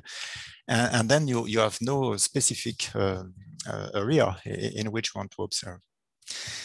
Um, well by the way if you if you don't specially know about the uh, the, the, the, kind of observation I want to do, my recommendation is that you, you should start with a low resolution instrument, okay? Because it is uh, it is simpler, it is uh, easier, it is um, you, will have uh, shorter exposure times and so on. Now, if you know what you want to do, uh, you have few questions to ask yourself. So, what is the resolution that I need? And I, I, will show you uh, some some uh, figures uh, later on. Uh, the resolution is the ability to see details, okay, in your spectrum. So to see really some physical uh, informations in, in, your spectrum. And uh, this is this is like in, in photo, you, you may have a, a wide angle lens, or you, you could have a, a tele lens and uh, depending on what you want to do. And keep in mind that it's obvious if you can see more details, uh, it's, it's always better, of course, but there is a drawback to the high resolution. If you are if you have a high resolution, it means that the, the, the total bandwidth of your spectrum will be smaller. So if you need to have a wide uh, um, uh wavelength uh, domain, then it's better to have a low resolution. Okay, you, you, you know what I mean? And the, the also there is another, uh, another criteria that you have to keep in mind is that with low resolution, you will, you will put, um, uh, how can I say that? Uh, each pixel of your camera will receive more light, a, a larger um, bandwidth, spectral bandwidth, and then it will receive more energy and this, then uh, the, the, as a result, the exposure time will be lower, will be shorter. And this is very important because if you are talking very roughly, if you are talking about low resolution, uh, you will talk about observations of few seconds or minutes. If you are talking about high resolution, you'll be talking maybe about hours. Okay, so it will be it will make uh, easier observations, which is important. And, and if you want to be more productive, it, all it all also means that during one night, you will be able to do much more observations in low resolution than in high resolution with a given telescope, of course. Okay, the second point that you, you have to, to look, uh, the second parameter that you look have to look at is the, the magnitude of, my, of your, your target. Um, of course, if you want to observe very faint targets, uh, you, you, uh, it will take more times, or you will need a, a, bigger telescope, of course, to, to catch more light. And really, this is something which is uh, very important. And of course, uh, well, I always recommend to start with the bright targets for sure, at least to, to, to make, uh, to, to be comfortable with your instrument and to, to put your instrument under control.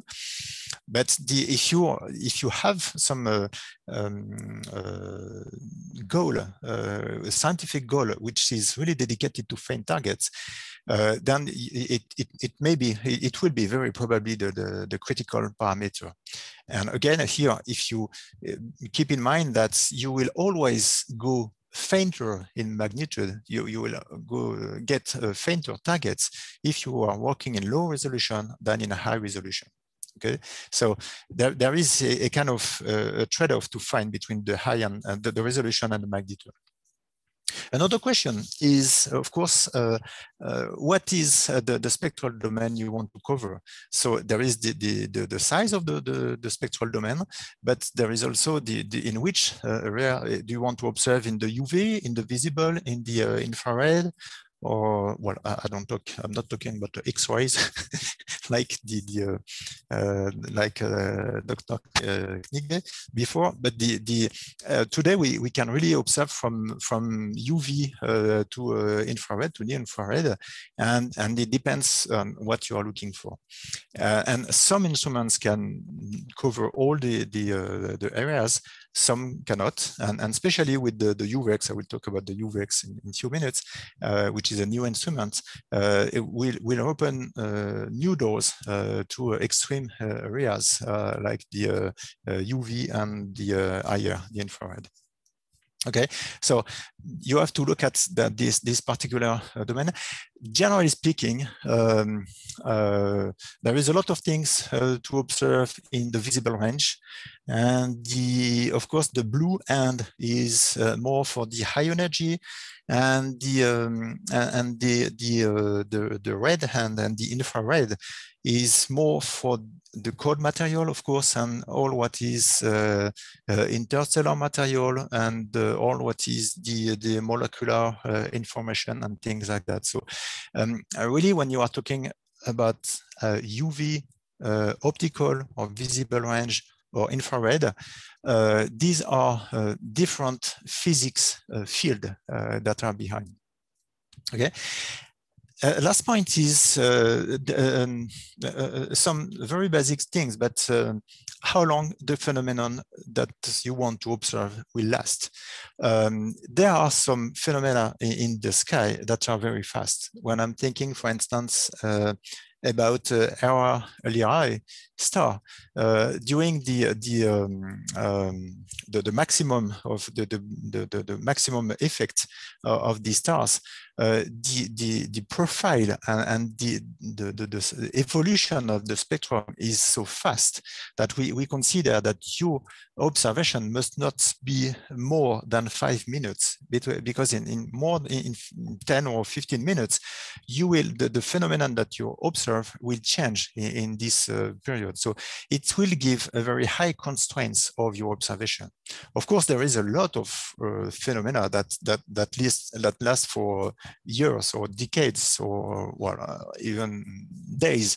In this case, you can you you it's not that constraintful, so you can observe for one hour, two or two hours without any problem keep in mind that if you have a, a, a, a timing uh, criteria, timing constraints, it, it, has to be taken into account when you choose your instrument.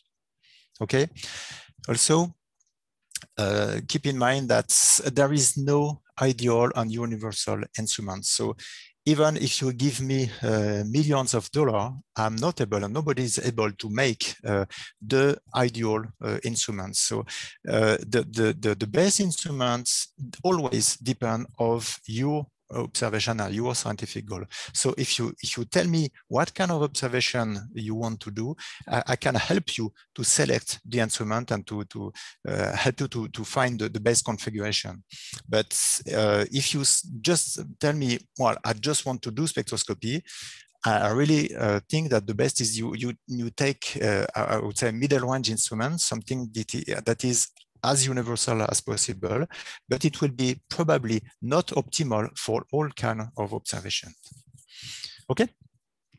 The the and again uh, I repeat uh, if you don't know exactly what kind of observation you want to do really go to low resolution because you you'll see all the landscapes of all the instrument all the um, uh, targets that you have in you you can have in stars. And, you'll you'll much better have a general view of what is in the sky now, the, the some illustration. Uh, when I'm talking about uh, low resolutions, this is this kind of, of spectrum where you go from the blue to the red. In this case, it is this is a very very low, very old observation, and uh, you you you can see the whole visible range Okay, and so this is a hot stars with the Balmer lines here, and you, you can see the uh, atmospheric lines uh, at the end, and, and, this is something which is very familiar. You have the HA line, which is the most important because this is the uh, most important uh, line in the uh, hydrogen uh, spectrum and the hydrogen is the most important uh, element in the universe. So you always have this, this line, which is in the red, in the far red, not in the infrared, in the visible red. the, the its wavelength is 656 nanometer. And uh, in this case, uh, you, you can see the whole range. And when we're talking about high resolution, we'll, we'll have a kind of zoom on this uh, line. And in this case, you will see here, you just see a small absorption line and you cannot see a lot of details. And here you can see a lot of details and you can even see additional lines by the way, this way, these lines are telluric lines. So by telluric, I mean, uh, th these are lines that are in the Earth's atmosphere and, and, uh, and, and, they are very um, useful to calibrate uh, the, the, the, spectrum in the region of the H uh, alpha. And, and, um, and, and this case, you can also see the detail of the profile of the line okay but again in this case uh, you can see the details but you cannot see uh, the, the, the uh, as big domain as uh, you would in low resolution. Okay, and the, this graph beside is uh, this is just a, a screen copy of um, of a the uh, ARASBeAm uh, database. Uh, so the ARASBeAm database is a database managed by the amateurs, and to to track uh, this the uh, BE stars and to uh, collect spectra about the BE star. So the ARASBeAm tool is dedicated to um, the amateurs, and it is closely linked to the BESS database, which is the professional database in which any contributor can can upload uh, their observation. I've just taken here to, to give you an example. Uh, this is the same star, same star uh, for Hercules. I think we say Hercules. And the, the, this is the H alpha line. So we, we can see it, we are close to the 656 uh, nanometers. And uh, uh, in these two cases, so the dates are almost the same. It was in March 2020.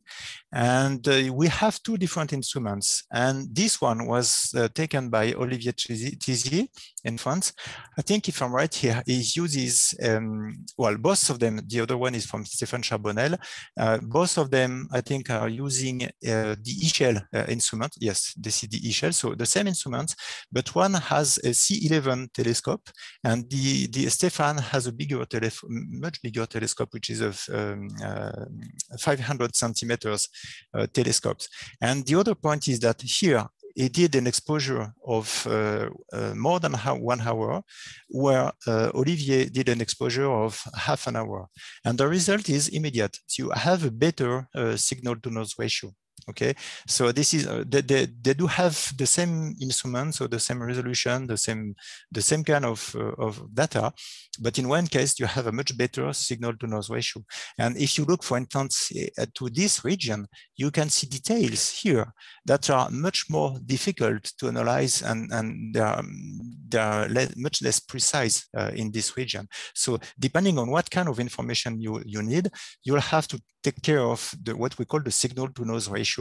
And so the, the, the, the, the, the, the fact that you, you can uh, detect precisely uh, the signal uh, out of the, uh, the, the, out of the noise. And, and of course, the more uh, you will expose, uh, the, the better will be the result. And of course, if you, if you have a bigger telescope, you'll also um, have a better result. Okay. Now, uh, the, the, so the, this was uh, the, the first point. The, the, first point is really what, you want to observe and what is your scientific goal. Um, I, I, like to say that the spectroscopy, uh, well, this is a technical activity, but if we do that, this is really to do observation, observations, and, and then to do science uh, with uh, these, uh, these instruments. So tonight, like very often, I'm talking about techniques, but this techniques is really dedicated to do science behind. Okay, so the the, the most important um, uh, input for you is what kind of science you want to do. Okay, now uh, let's look at some technical constraints regarding the instruments, which is the second key uh, when you want to select an instrument. Very generally speaking, we have three kinds of instruments. We have the slitless spectroscope, we have the slit spectroscope, and we also have the fiber-fed spectroscope. Uh, the, the, the, they, are, they do have mainly uh, um, almost the same general architecture, but there are some some important uh, differences uh, for your, uh, your, your application. I, I, will go to the the um, I will show some pictures uh, behind regarding uh, this kind of system. So the slit, slitless is the simplest for sure, and the fiber-fed is probably the the more complex. And and and and by the way, most of the professional instruments uh, today are fiber-fed spectroscope because of the size of the instrument. This is uh, something important when you when, when you want to start in, in spectroscopy. The, the, this is a key question. Do you already have a, a telescope? If you have the telescope, uh, please keep it and use it. So don't wait for uh, another one, and and start by using your own telescope. And just beware that the bigger the telescope, for a given resolution, the bigger telescope, the bigger the spectrum. Okay, so this is for optical reasons. Uh, I, I, don't want to spend too much time here to to ask you uh, to, to um, uh, give you all the details, but maybe we, we can uh, talk about that during the discussion. But really, for a given resolution, if you have a one meter telescope, the, tele the spectroscope will be big. If you have uh, an eight inch uh, telescope, your spectroscope for the same resolution will be much smaller. So the, the, the, good news is that, uh, generally speaking, in the amateurs world, we are using small telescopes. So it means that we can afford to use small spectroscopes, and we are lucky to do that. And this is why we can do very good, very high quality observations with our small uh, instruments. Okay, so don't think, please don't think that you need to have a big telescope uh, to, to do spectroscopy if you don't already have the telescope and you want to buy uh, or make uh, the, the uh, uh a telescope uh, to start in spectroscopy, uh, I think that today you should prefer to have a purely mirror telescope. So it means either a Newton telescope or a Ritchey, um, telescope, an RC telescope, or maybe a Cassegrain, uh, not a Schmidt-Cassegrain, a pure Cassegrain telescope, which is also a purely mirror telescope. Why? For a very simple reason. Uh, when you have a purely uh, mirror telescopes, you have absolutely no chromatism. So it means that there is the, the, the, the, the optics is exactly the same at any wavelength. As soon as you put glass uh, in the light path, you make uh, chromatism, uh, which means which means that you will not have exactly the same focal point for the, the, the blue or the UV and for the red or the or the infrared. And that makes something complex to, to have a wide field uh, instrument. And especially uh, I already uh, told you that we are um, we we can we see some new instruments like the UVEX, and with this instrument we can go very far in the UV and in the IR compared to what we did before. and then it's important to use uh, this kind of telescopes.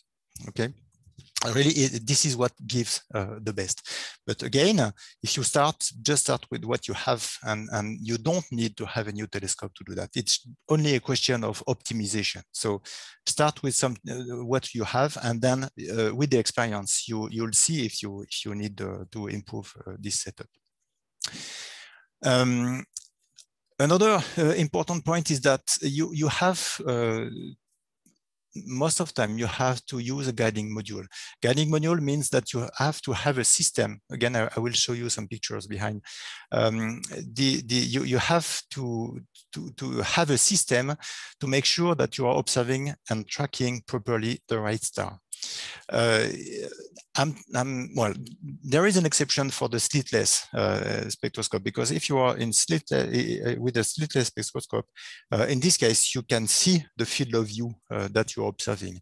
But if you put a slit, which is the case is most of instruments, uh, then in this case, you are you are doing a blind observation. So you, you have a, a, slit in front of your your spectroscope, and then you have no way to, to, to know exactly where your point your telescope is uh, pointing at. Okay, and this is very important to have a system to point, to guide, and even to auto guide uh, on your star. Um, so this is really um, this is something really to consider. And also this is why uh, when you are doing spectroscopy, most of the time you have a secondary camera, which is the guiding camera. And you can see on most uh, installation that you have the acquisition camera behind the, the, uh, the spectroscope. And the, you have a secondary camera, which is for the guiding. Okay. Uh, there are some other uh, questions uh, to take uh, to, to ask yourself. Uh, so do you want to have a, a, fixed installation? Do you have an observatory or are you using you are, are you observing in uh, in nomadic way? I hope that the wording is correct. Um, so if you if you have to uh, install and to set up all your instrument each night you want to observe, uh, then you have to select something which is very simple to use, simple to set up. And uh, on, of course, if you want to have a fiber fed instrument and, and something with uh, uh, several instruments to set up, uh, it is much more dedicated to fixed observatories. Okay. And also there is something which is um, important um, in in the uh, in, in, in our times uh, today is more and more people are using their setup, their telescope uh, remotely. So I really recommend to start in spectroscopy locally. So be just close to your telescope to understand what happens, what you're observing, what you are seeing. I think it's, it's really necessary. But if you want to use it um, uh, remotely, then you, you have to be sure to make sure that the, the spectroscope you are, that you are using, and of course all your, your telescope, can be uh, used remotely. And uh, this is not the case for all the instruments.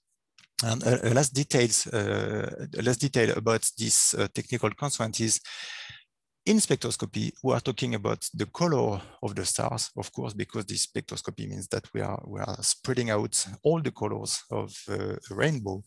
Uh, but we always uh, always prefer uh, to use black and white camera for a very basic reason.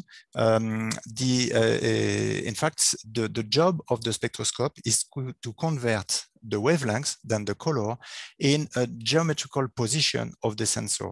So we don't need to have the color at the end because the, the color is converted in a position of the sensor. You know what I mean? So in the, and, and in this case, it, it's a pity to have a color camera because a, a color camera means that you have a Bayer matrix. So you have some blue, some red and some green pixels. And, and if you are in a in part of the spectrum where there is only some red light because of the geometry of the instrument, you will use only uh, one pixel, the red pixel, and the other one will be totally unuseful. So any color camera will be uh, much less efficient uh, than a black and white camera. So even if it's not intuitive, when you are doing spectroscopy, always, always prefer black and white camera. Again, if you already have a, a color camera and if you want to jump into spectroscopy, do uh, you of course you can do it, uh, but uh, if you want to have something performant, uh, you you'll have to take that into account. This is a, an image or made uh, uh, with a star analyzer. A star analyzer means that you, you just put a small uh, grating uh, in front of uh, your lens and, and, and, and, or your sensor. It can be a DSLR like that. This is an old picture again. And you can put your, your this uh, device on the back of your telescope and then you are very close to the, the, the, the, structure of the, the setup that you use to do um, imaging or photometry. The only difference is that, that you put a grating, uh, diffraction grating in the light path, okay? And the result is that you can see all the stars as usual, but each star is accompanied by spectrum, okay? You can see this star here, you have a bright spectrum here. You have is probably a star here, which makes this spectrum. And in this case, you have also a, um, a planetary nebula here. Uh, well, I, I, guess this is M, uh, uh I guess this is M57, of course. And in this case, you have the, the direct image and or what we call the zero order and you have two emission lines, and then you, you have two bright images of the, of the, the system, okay? So when you have star, you have a continuous uh, spectrum most of the time. You may have some absorption lines here. We can see some absorptions, of course, but you most of the time you have a continuum with absorption or emission lines. Uh, in the case of uh, planetary nebula, you have only few emissions. This is why you can see some different uh, uh, images here. And of course, in this case, uh, we used a color camera, uh, which is just beautiful. Not very useful for, for the efficiency, as I told you before, but of course, this is very uh, visual. Okay, so this is a, this star analyzer is really the slitless uh, spectroscope. So this is, we just put a grating, a diffraction grating in the light path in a very common telescope. And this is the kind of result that you, you, you have. So uh, there is a lot of advantages. This is very simple. This is cheap then. This is very close to what you used to have. And, and, and you may have in a single picture, you may have a lot of uh, spectra, okay? And, and then also something important is that you can recognize uh, your uh, field of view and then you can recognize exactly which star uh, you want to observe, okay? But this is in fact um, so there is this analyzer or there are there are few um, few other uh, devices uh, like, like star analyzer which are just basic um, uh, diffraction uh, gratings and and this is really what we call the the, the slitless system it is wonderful for discovery, for, for starting in spectroscopy, again, because it is cheap and it is uh, easy to use. There are some um, application field uh, in science, uh, like observing the, the novae and the supernovae, because they are very faint, and, and because the instrument is uh, simple, its uh, optical efficiency is quite high. So it, it may be useful to observe um, the, the, some uh, novae and supernovae uh, with this instrument, especially supernovae, which are fainter. and also the, the, the, the, point is that you, you have very um, uh, wide features in, in these uh, spectra. So it's not a problem if you have only a low resolution. Of course, this analyzer is a very low uh, resolution instrument. Okay. Now, I, I, told you that you, you have to, to, to have a guiding system if you are using a slit. So now the idea is that instead of putting uh, just a grating in the light beam, you will put a, a, a like a, you will put a slit in, in the field of view and you will uh, spread out only the light that goes uh, through uh, this slit. And then you will have a, a, system, the guiding system, which will look at the other, the, the telescope field of view. So in your guiding image, you will see the telescope field of view. So you can have a few stars in this case, and you will see also uh, a black uh, slit uh, in the guiding image. And if you uh, move the telescope in such a way that you put the, the star in the slit, then you will have this result. You will see the spectrum of this slit. of this uh, star. Okay, and by the way, so we have uh, uh, selected the threshold of the image in such a way that we can see the light pollution because you have a slit here. Then you can also at the same time as the star spectrum, you can observe uh, the, the sky pollution spectrum or the sky background uh, spectrum. Okay, so this is important because uh, with the slit, you'll be able to uh, correct your spectrum from the sky pollution. But, and, this is one of the reasons for which you can do uh, spectroscopy in city center, uh, which is to, today, uh, well, really not the case for the deep sky imaging. Where to have to do deep sky imaging, you have to have a very clear sky, where in spectroscopy you can really observe in city center. Okay, so this is what you will see in the guiding image. And this guiding image has uh, several advantages. You can observe extended objects.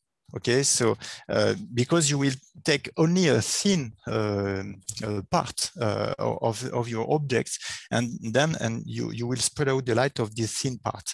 So even if you want to observe a, a, a comet or a galaxy or nebulae or anything that is extended, you can observe it. Where with the star analyzer, you cannot because all the, the uh, image will be mixed. In fact, the, all the, uh, the, the extended object will be mixed with the, all the, the uh, all, all, the different wavelengths. Okay. The, the next point is that you can also use a calibration lamp this is just because a calibration lamp is a kind of extended object. We, we cannot have a very uh, uh point-like uh, light source uh, for the calibration light. Uh, so the calibration lamp makes an extended source. And uh, thanks to the slit, we can observe the calibration, calibration spectrum. And when we do this observation, we illuminate the slit in the same condition as the star. And then we can really, after taking or before taking the star spectrum, we can take the calibration spectrum. And then because we know the calibration spectrum, because we have some known uh, uh, emission lines in this lamp, then we can calibrate uh, our spectrum, okay? Which is something much more complex for the uh, for the analyzer, for instance. In fact, if you want to to calibrate uh, your your star analyzer, if I come back to this image, you really have to consider the zero order here and and and detect some lines to make sure that you can have a scale of the calibration. But the calibration will be different for each star. Okay, so you you have to recalibrate your image, uh, your your spectrum for each star, which is not that easy where in this system, the, the, the, in your image, uh, the position of the spectrum is always the same because it is given by the position of the slit. Okay, so it is much easier to calibrate. And uh, as I explained, you can correct the scale pollution.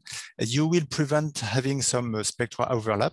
Of course, in, in this image, you may have some overlapping of uh, different spectra.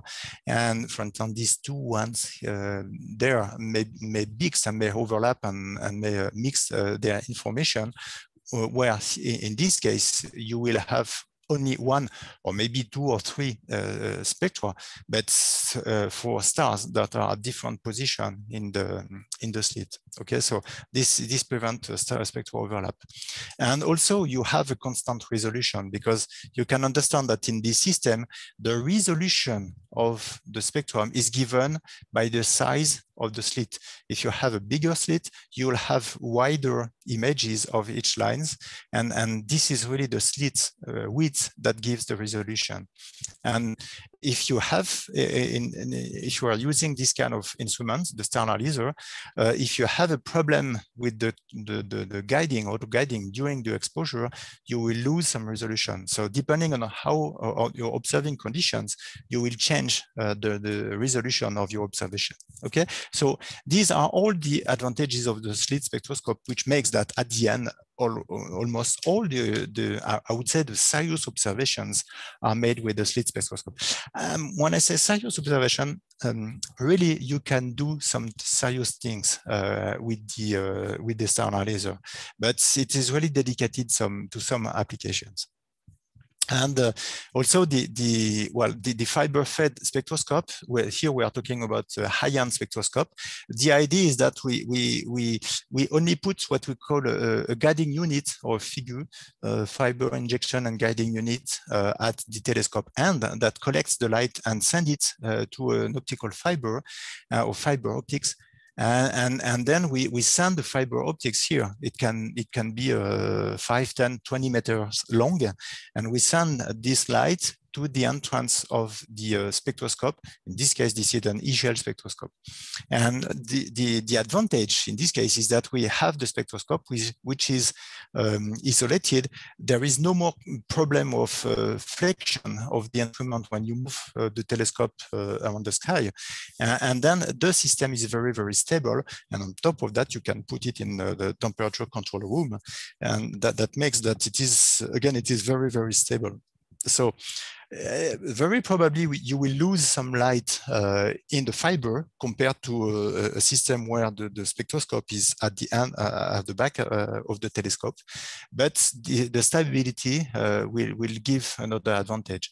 And again, I told you that most of professional uh, spectroscope are fiber-fed instruments. This is just because uh, they are huge. Uh, remember that if you use big telescope, you'll have big spectroscope.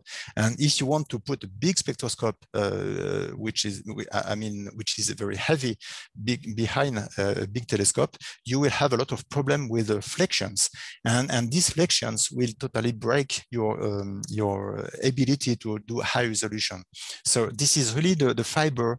The fiber arrives in the 80s and, and from this moment, the, the, the, the, fibers that allowed to separate uh, the telescope and the spectroscope, uh, it did open the door to the um, asteroseismology, so the, the, the way that uh, we can observe stars with a very high resolution instrument. Okay, but again, we are talking about high-end system and and uh, and that is we have all the advantages of uh, the the slit spectroscope except that we have we, we use a fiber, so we, we don't have a slit, a long slit. We have only one point in, in, in which we put the, the, the star. And that means that we cannot collect the sky background at the same time. So if you really need to do to have the sky background to correct your observation, it means that after your star observation, you'll have to do a new star of the sky background just beside uh, your star, which, which may take uh, more time. Okay, so of course, in some cases you have double fiber, but it is uh, still more complex system. Okay, well, now, of course, uh, there is a question that the third key uh, to, to select your instrument is the budget. So I, I, I, I have not uh, given prices and well, here I have mainly put the, uh, the, the, the, instrument from Shelyak Instruments, but you, you may have some other instruments. Um, here we are talking uh, with the star analyzer, we are, we are talking about um, hundreds, a uh, few hundreds of uh, uh, dollars. And um, um, well, for the Alpy, which is the low resolution, a very good instrument to, to start to start in spectroscopy. And it is easy to use, it is light, it is small, so you can use with small instrument and so on. We are talking about a few thousands of dollars. Uh, here we are in the uh, high performance uh, instrument uh, from Shelyak. So the LISA here, the LHIRES III here, and the UVEX. I will come back on the UVEX in a few seconds. And uh, we are talking about uh, something like three to five K uh, dollars uh, well, again, this is a, a, range. And, and here we are more talking about uh, uh, 15, 17, or 20, maybe 20 uh, with the full uh, set, 20K uh, dollars. So of course, the budget are totally different. And, and, and of course, you will not do the same uh, the, the, same kind of observations. And by the way, this is a pity, but uh, when it is simple, it is usually uh, more complex to use because you, you have uh, uh, more data reduction to do with a simple instrument. And this one can be very automated or these uh, instruments can be really automated where, so the, the, the in, in fact, the, the, the, the most complex the instrument, uh, the easiest, uh, easier it is to use. And here we have, uh, I will talk again uh, to the Sol'Ex in few seconds. I think this is something very important. It is uh, a, a, small instrument, I think it is wonderful uh, to, to start with, but this is something very special. Now, uh, uh, and again, the, the, start with your instruments. Uh, don't you don't need to replace all your setup and and use what you have uh, in hand uh, to start with spectroscopy. And I really recommend to start with basic instruments, especially if you don't know exactly what you want to do. Start with this the the Alpy system, which is easy, which is very performing, which is uh, which, which will give great great results. Okay, so now I want to to uh, to talk about uh, the two newcomers. Uh, so the first one is the UVEX. Uh, the UVEX is a new instrument which is uh, made only of mirrors. So this is a Schrödinger uh, architecture, and we only have mirrors, so it is a very achromatic. So we have put all our experience in this instrument really, and the UVEX is. I, I like to say that this is the new generation of instruments. So it's very rigid, very robust, very easy to use because you, you never have to open the box. Uh, you can control uh, everything you need from outside of the instruments. You can uh, really do a lot of things. You can change the grating to have different resolutions. And because it is achromatic, because it uses only mirrors, remember that I told you that I recommend to use a telescope with only mirrors. So if you do that, if you have uh, this kind of setups, uh, this is my own telescope at home. Uh, this is an RC8, so a Ritchey-Chrétien telescope.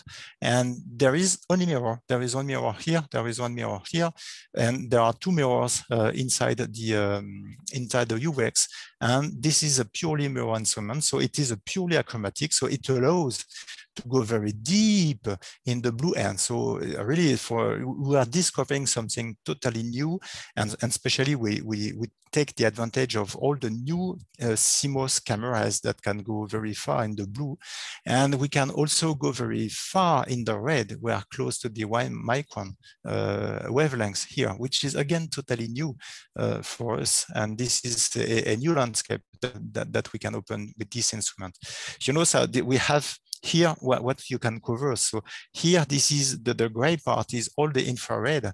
And really when we, usually we, we, we go down to uh, H and K lines. So in the blue, in the deep blue here, and we go to the visible, uh, to, the visible end. So we, we usually, we use to cover this range. Now we can really go uh, deep here in the in the uh, blue part, and we can very, go very far uh, in the infrared compared to what we used to do.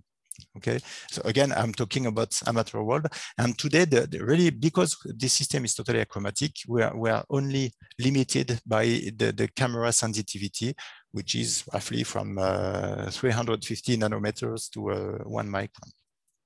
Okay, and well, it is also very, uh, really ready for remote operation, which is important uh, nowadays.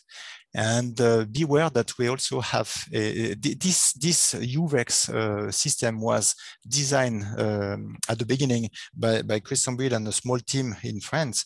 And uh, the, the, first project was and still is in 3D uh, printing. So there are some people who did uh, print uh, and made themselves this instrument. So the, the, the version that we propose at Shelyak is something very strong, very robust, and very advanced has advanced mechanics. But uh, if you want to play with it uh, with a, a, very cheap um, and affordable uh, solution, the, the, this is feasible. And then uh, I'm close to the end. The, uh, the, the, other one is uh, the Sol'Ex. Sol'Ex is something very special. It, it's not, it's, Sol'Ex means Solar Explorer. Okay, and again, it is it is designed by Christian Buil, and I, I guess that most of you uh, know know this guy who is uh, really incredible, and um, and we, we work closely uh, with Christian uh, very often. And you know that he, he did design most of uh, the optics of our uh, instruments and most of the instruments that amateurs are using today uh, are, have been designed by Christian. And uh, in this case, this is a spectroheliograph. So it means that the purpose of this instrument is to do some images of the sun like this. And uh, but to do that, we are using a spectroscope. And the idea is that if we do that with a single um, acquisition, we can rebuild the image of the sun at any wavelength which is contained in our spectra the idea is that we put, again, this is a spectroscope, so we have a slit. And the idea is that we, we put the slit in front of the sun and we just, we stop the telescope and we let, we let the sun moving in front of the slit, uh, of the slit, and we take uh, fast acquisitions and, and then we scan all the sun uh, by doing that. And after that, we, we each uh, image is something like that. So in this case, we can see the H alpha line, for instance. We can, again, we can rotate the grating to see different wavelengths, but in this case, this is H, H alpha line. And um, the, the uh, we can observe in this region and then select these parts and rebuild the image uh, at for instance, at the H alpha uh, wavelengths. And then this is like if you use a filter, but a very, very, very narrow filter, okay? And, and in fact, a much narrower, uh, narrower filter uh, that, that you can find uh, on the market. This is very interesting because you are taking images but to do that, you are using a spectroscope. And again, this is a 3D printing uh, system. This is a very cheap solution. And, uh, and, and this is a very successful instrument because a few days ago, uh, we have shipped uh, the first run and it, it has wonderful success because we have shipped 160 units of the uh, kits. Uh, in, in, fact, at Shelyak, we did provide the two lenses that are here and here, the grating, which is here, and the slit, which is here. And all the other parts are made by, by people in 3D printing. So this is something very cheap. And the, this is wonderful because you build your own instrument. So you, you know how it works you have the, the, the, URL of the website of Christian about uh, this uh, instrument. The website has been um, uh, translated in English uh, uh, recently, and, and which is very good. And, and really, this is wonderful because you, you build your instrument, so you, you understand what you are doing. This is very affordable. And, and by the way, Christian did some demonstration that it can also be used in some conditions, certain conditions, as a star, so a star explorer. So uh, I mean, not only for the sun, but also for stars. And in this case, it, it, for the stars, we use it as a normal spectroscope and not, uh, we, we don't scan the object, but we just put, uh, we, we have to put a, a slit and a guiding uh, system in front of the slit and we can point, uh, point at any star. Okay. And by the way, so this week we have shipped the first uh, units, and this is a very, very successful program, very impressive program. And, and in fact, I'm, I'm very proud because today it, was uh, sunny uh, today. Well, I'm in France. We are uh, late in the evening now, and uh, but to, this afternoon the weather was wonderful, and we have made our own first observations with the Sol'Ex, and it is just uh, well, it's just wonderful to do it. It's it's fun, and you see when when when the sun is scanning uh, you, you, can see some um, some changes in the spectrum because of uh, some uh, black spots and, and things like that. So it's it's really wonderful, and it's a wonderful way to discover spectroscopy and and and, and to make beautiful images. Okay, well I've almost finished. Um, some recommendations.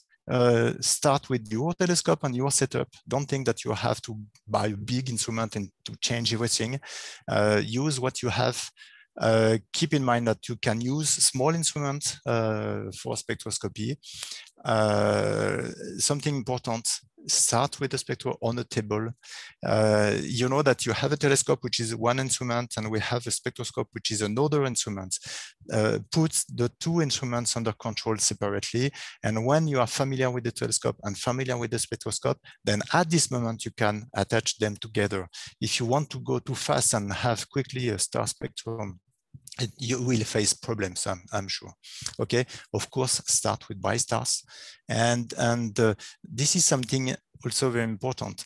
Um, I've explained you at the beginning that uh, you, you, when you are doing spectroscopy, there is one step to acquire the 2D images, another step, which is to do the data reduction.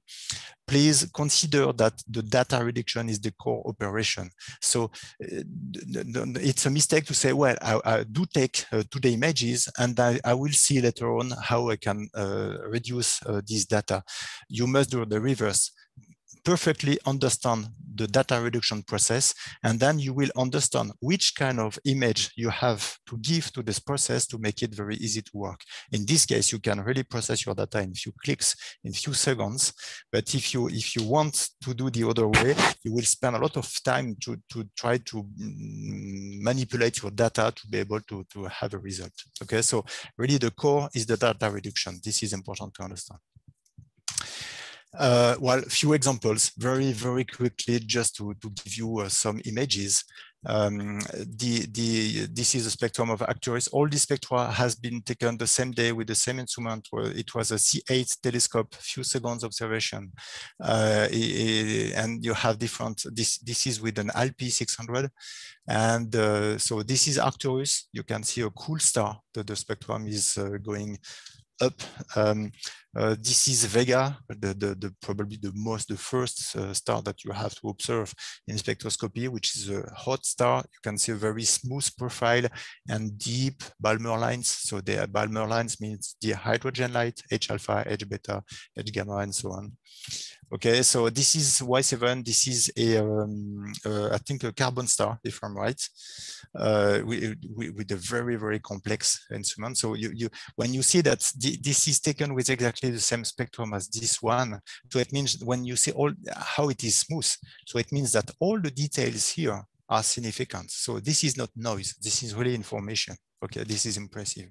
So Gamma Cassiope, Gamma Cassiope is the, this, the, the, the, star in the middle of the W uh, of uh, Cassiope. It, it, was the first um, discovered BE stars where you see that for the H uh, alpha and H beta lines, you have emissions, deep, uh, strong emissions where we used to have absorption lines.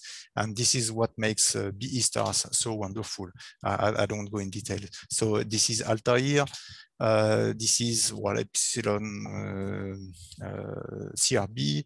Well, there, these are some stars that we observe during a, a, public outreach, and people ask me, "Well, this one, this one, can we observe this one?" So this gives some example. Beta Lyrae.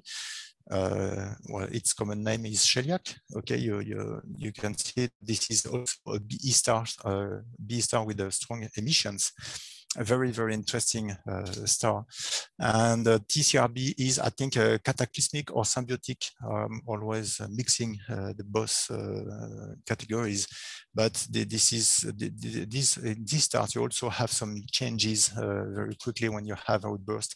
This is some examples of an outburst of a BE star. So QR um, uh, have been seen. Uh, we, we follow it uh, in, in within the, the, the, program of BESS. And uh, sometimes we have already seen, uh, I think, four or five outbursts of this star uh, for 10 years now. And, and we this is the usual status. And from time to time, you see that because you have some emissions um, out of this star, and that, that, that is uh, um, uh, well, this is an outburst, so some material is, um, is um, how it is uh, I cannot find the word is emitted is um, uh, sending out sending out out of the star.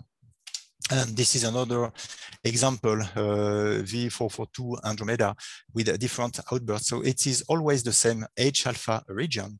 Okay, and in some cases it's, it's in absorption. You may have some emissions with two uh, emission lines uh, combined with some absorptions. So you know it's there is some complex uh, profile, and at different times you see the different uh, results. Well, I've finished. Um, uh, if you are interested, uh, maybe you you are already you already know that, but I've written a book uh, to help you starting in spectroscopy, and uh, and that's it. I think I've finished. I'm hope. hope Thank I'm you very much, late. Francois. That was great. Uh, we've got a couple of questions that have come in here. We're going to go ahead and mm-hmm. get to those. Um, so we have a question from an anonymous attendee who had asked which setup would be best for measuring the cosmic redshift of galaxies. Can I do that with a star analyzer or do I need a slit spectrograph and what resolution?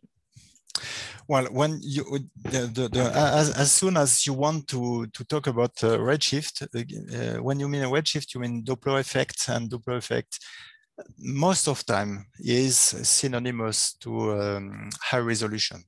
So this is not always true, but but this is a, a, general consideration. If you want to measure radial velocities, you have to use uh, um, you have to use high resolution. Uh, would you mind uh, clarifying generally what like in order of magnitude value is high resolution? uh, good point. Um, well, of course, it depends on your telescope, but I, I would say that with a, a small telescope like um, uh, 8, 10 inch telescope. Um, I know that you, you, you, with this kind of small telescope, you, you, you can go in low resolution with an Alpy, for instance, or with a LISA, you can go up to uh, 13, 14, maybe 15 uh, magnitude. Um, with, the, with the high resolution, uh, with the LHIRES III, for instance, or with an eShel spectroscope, it can be, uh, you, you, you would be limited limited to, uh, I would say, magnitude seven or eight at, at maximum. This is to have a, a kind of ID. Um, but uh, of course, it depends of your. It depends on your exposure time. It depends on your telescope diameter. Thanks. All right. Uh, so Patrick Kavanaugh had asked, what is the maximum error in guiding that can be acceptable when using a slit spectroscope at low resolution uh, without losing the star? Um, well, again, it depends on, on it depends on your setup, but the the uh, well, first there is something uh, which is important is um, if you have a slit spectroscope, if you have problems of tracking uh, of guiding, uh, you you you may lose some light because your your the, the starlight will not go in inside the slit, but uh, your uh, spectrum will remain correct, you know, so there is, there will be no movement of, of, the spectrum. So if, if you don't have a good guiding, if you have a problem in guiding, you will lose some efficiency, uh, but, but your spectrum will be correct, but you will have a lower uh, signal to uh, signal to noise ratio. Okay, uh, and and also something important is uh, one, once you have defined your setup, um, you you you may have um, in, in, in, fact, you, you, you can spend some time to define the proper setup and have the, the, the, right installation. But once it is done, when you are doing the light and when you are observing, the only thing you have to do is to make sure that you put as much light as possible in the slit okay? So and to do that uh, tuning uh, the parameter of your auto guiding is something very important to to to improve it.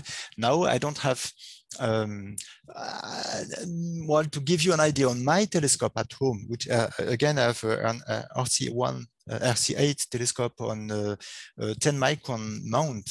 And, and, and this is really a great setup, much better than the one I had before. I can, I, I do have an, an error, guiding error of something around one or two arc seconds, well, depending on the, on the weather.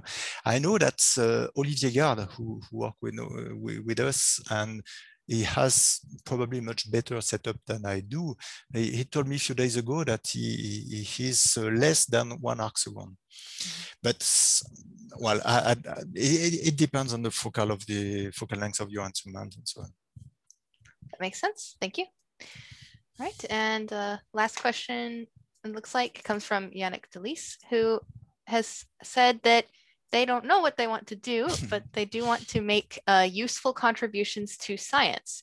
So, what kind of observations are amateur contributions most needed for these days? Um, the, the, this question is interesting and uh, it, it opens um, an opportunity for me to give something important, I think.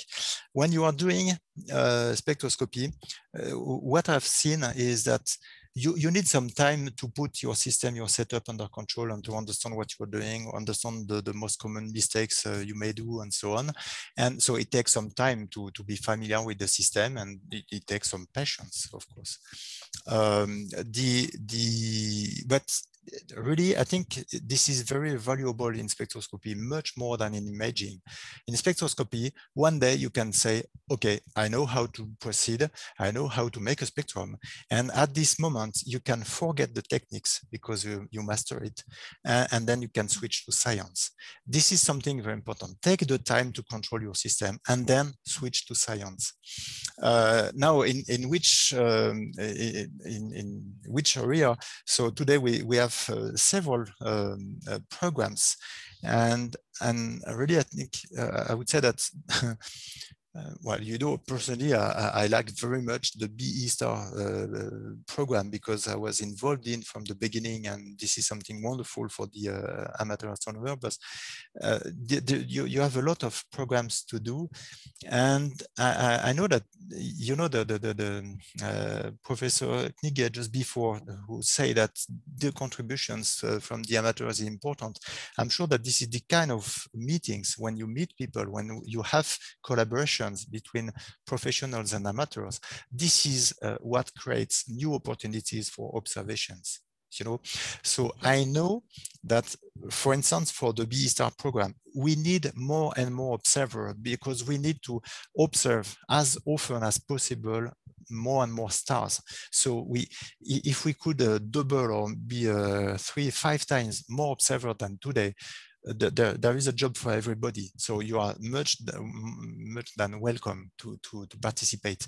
But this is the same for a lot of, uh, programs. And, and I'm sure that the more we are, the, the more we'll open uh, opportunities to collaborate. It's all very true. I'd like mm. to just uh, add on to the end of that real quick. Uh, because I think that this is very cool. A lot of the BE stars in the sky are extremely bright stars. So you yep. don't need a great limiting magnitude to get involved. Like the example you gave of Gamma Cassiopeia being one of the main stars in Cassiopeia. Yeah well, Gamma Cassiopeia is probably not the most interesting because it is very stable. So it's it's yes. it is so easy to do, and so it's well, the first time you observe it, you say, "Wow, something is happening there." Mm-hmm. but but yeah, you are right. You are perfectly right. The the uh, the B well, stars, generally speaking, are bright. Well, then, uh, if you want more interesting, I guess you can go with Zeta Tauri. that one's cool. Yeah. All right. Um, we got a couple, actually, a couple extra questions that came in while you were answering that one.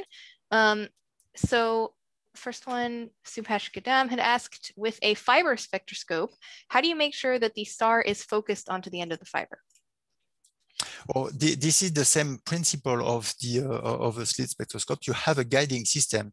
So in fact, the the uh, uh, the, the, the, the fiber hole is made in a mirror, and then the image of the of the field of view of the telescope is sent back to a secondary image. And then instead of seeing in, in the middle of the image, you cannot see the slit because this is a fiber, but in this case, you can see a black hole in the middle in middle of the image. And your job is to put the star in, the, in this black hole. And, and when you, in the guiding image, when the star uh, goes in the, in the fiber, in the hole, uh, then the, the light is not sent back to the, uh, in fact, the light goes in the spectroscope, so it, it, you cannot see it anymore in the guiding image. So you, you can see that the, the, the star is disappearing in the fiber the, the same way as if you have a, a slit, a slit spectroscope, when the, the star crosses uh, the slit, you, you see it disappearing uh, from the guiding image, which is a very good, a, a, a good sign that the light is going through the telescope. Thank you. All right. Uh, we had a question about the Sol'Ex. Does it need uh, slit guiding? no. so uh, the Sol'Ex, so the Solar Explorer, uh, is is not using the. Uh, you, you, don't need to have a, a guiding system but you have uh, anyway to point at the sun. And well, I, I, just did it for the first time this afternoon, so I can talk about that. And the the you, you just have to find, you know, on on the uh, we, we are using a small telescope, and there are two rings uh, that attach the telescope. And in fact, we use the first ring shadow uh, to align it on the second ring uh, to make sure that we are pointing at the sun. And, and the idea in this system is that we, by moving the telescope slightly, you, you, you see when you are on the sun because you see a wonderful spectrum. Okay, and the idea is that you, you move the slit just in front of the sun and then you stop the motor of the uh, of the mount and then you you you see that the, the because of the natural movement of the sky the sun will will you, you will scan naturally uh, the, the, the, the, the, the, spectrum. So in this case, in fact, we, we stop the mount. So in this case, there is no tracking issue. Uh, the system is very stable and, and we, we proceed this way. Again, this is a very simple system and that works. And so it's a wonderful way to, to put the, to put the hands on. Yeah, very nice. Uh, so if you were to use your Sol'Ex for um, stars uh, other than the sun, then you would need to use guiding, right? And you'd need yep. to add a guiding module. Yes, absolutely. In this case, you you have to add some uh, some components to have a guiding system because again, if you have a slit system, if you don't have any guiding system, you are you are you are mm -hmm. blind. In fact, and what, what you do is that we say, well, I have a good mount, so I can mm, mm, uh, point at a star very precisely, but in fact, it's never enough. And by experience, what you what you do is you point at your star, you say, well, it should be somewhere here and you, you try, you make a spectrum, there is nothing, just black spectrum. Uh, and then you move a little bit around and you say, you, you, you do continuous uh, imaging and then you wait for getting a spectrum. And necessarily at one moment, you'll have a star uh, that goes in the slits and says, hey, great, I do have a spectrum. And at this moment, you say, hey, how can I know if this is the right star or not? Mm. So uh, really, you need a guiding system to make sure that you're observing uh, the, the guide and the right stuff. That makes sense. All right, our last question for today uh, comes from Pradeep Karmarkar. Sorry for mispronouncing your name. I'm mm-hmm. pretty sure I just did that. How do you take calibration spectra and what software would you use? Okay, so the, the, the idea of the calibration spectrum is, is to use a, uh, the idea is to use a, a non-spectrum, and usually we use some calibration lamp, and a calibration lamp is just a, a, lamp with some gases like uh, neon, argon, thorium, or things like that, uh, some gases uh, for which we have emission lines, few emission or few um, high number of emission lines, uh, for which we perfectly know the wavelengths. Okay, so in fact, you have a pattern of lines and, and we can recognize this pattern. And thanks to this pattern, we, we can say, okay, this line is at uh, this wavelength, this other line has this uh, other wavelengths and so on. So the idea is that when, when you have your instrument properly set up, you do an observation of your star and exactly in the same conditions, uh, so you don't change anything in your instrument, and then you put some calibration light uh, in front of the slit. And in this case, you will be able to, to do this, uh, this, uh, this calibration. And regarding the, the, the software, uh, well, the, the well, there, there, are several uh, available uh, software. Um, within Shelyak, we developed for some years uh, uh the Demetra software, uh, which is uh, which covers from the acquisition to the data reduction, including acquisition of the target image, flat image, calibration images, and so on. and, and the idea is to have a very automatic process. there is also a lot of people who are using the ISIS software, so, which is the software from Christian Buil, and we, which has which is very very powerful, which is probably more complex to use. Uh, the, the, the, interface is more more complex to understand, but when, when you understand it, it is very, of course very powerful. And you also have uh, other software like uh, like BASS, like RSpec, uh, like uh, Visual Spec to to do the software comparison and so on. And we, we have a lot of uh, resources and information on our website, of course, if this can help. All right, thank you. That looks like that's it for our questions. So I'm going to go ahead and put up our end card here. All right. Um, first, before I get to the closing announcements, I would like to extend a huge thank you to both Dr. Knigge and uh, Mr. Cochard for sharing your time and knowledge with us today. I would also like to thank again our sponsors, DC3 Dreams and Boyce Astro. DC3 Dreams provides high-end observatory automation and web-based multi-user remote imaging. The AAVSO net observatories use DC3 Dreams ACP Expert for the BrightStar monitors and other programs. The AAVSO Photometric All Sky Survey project, also known as APASS, has used ACP Expert's AI scheduler to automatically acquire over 500,000 star fields, hands off, at a rate of 1,000 square degrees per night. This has resulted in photometry for over 128 million objects in about 99% of the sky. The Boyce Research Initiative and Education Foundation provides online astronomy education, observatory resources, and research experiences to students, student teams, and schools in order to learn how to perform observations, conduct research, and publish their results in a scientific journal, such as the Journal of the AAVSO. Today's webinar has been recorded and the recording will soon be made available for free on the AAVSO's YouTube channel, where you can find a full library of webinars just like these. Go check it out and while you are there, consider subscribing to our channel. Not only will you get notified every time a new lecture is posted, but by hitting that little subscribe button, you will be increasing our educational reach by making YouTube more likely to suggest our videos to others. It's just one more way that you can help support the AAVSO.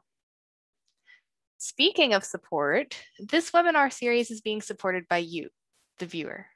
So please, if you're not a member, join the AAVSO. AAVSO membership comes with a wide array of benefits, including free access to our mentorship program. Our mentors can help you get started, whether it's visual observing or CCD photometry or even spectroscopy we can help. And as always, we would be so grateful if you would consider donating to the AAVSO. Every donation matters and goes towards making programs like this come to life.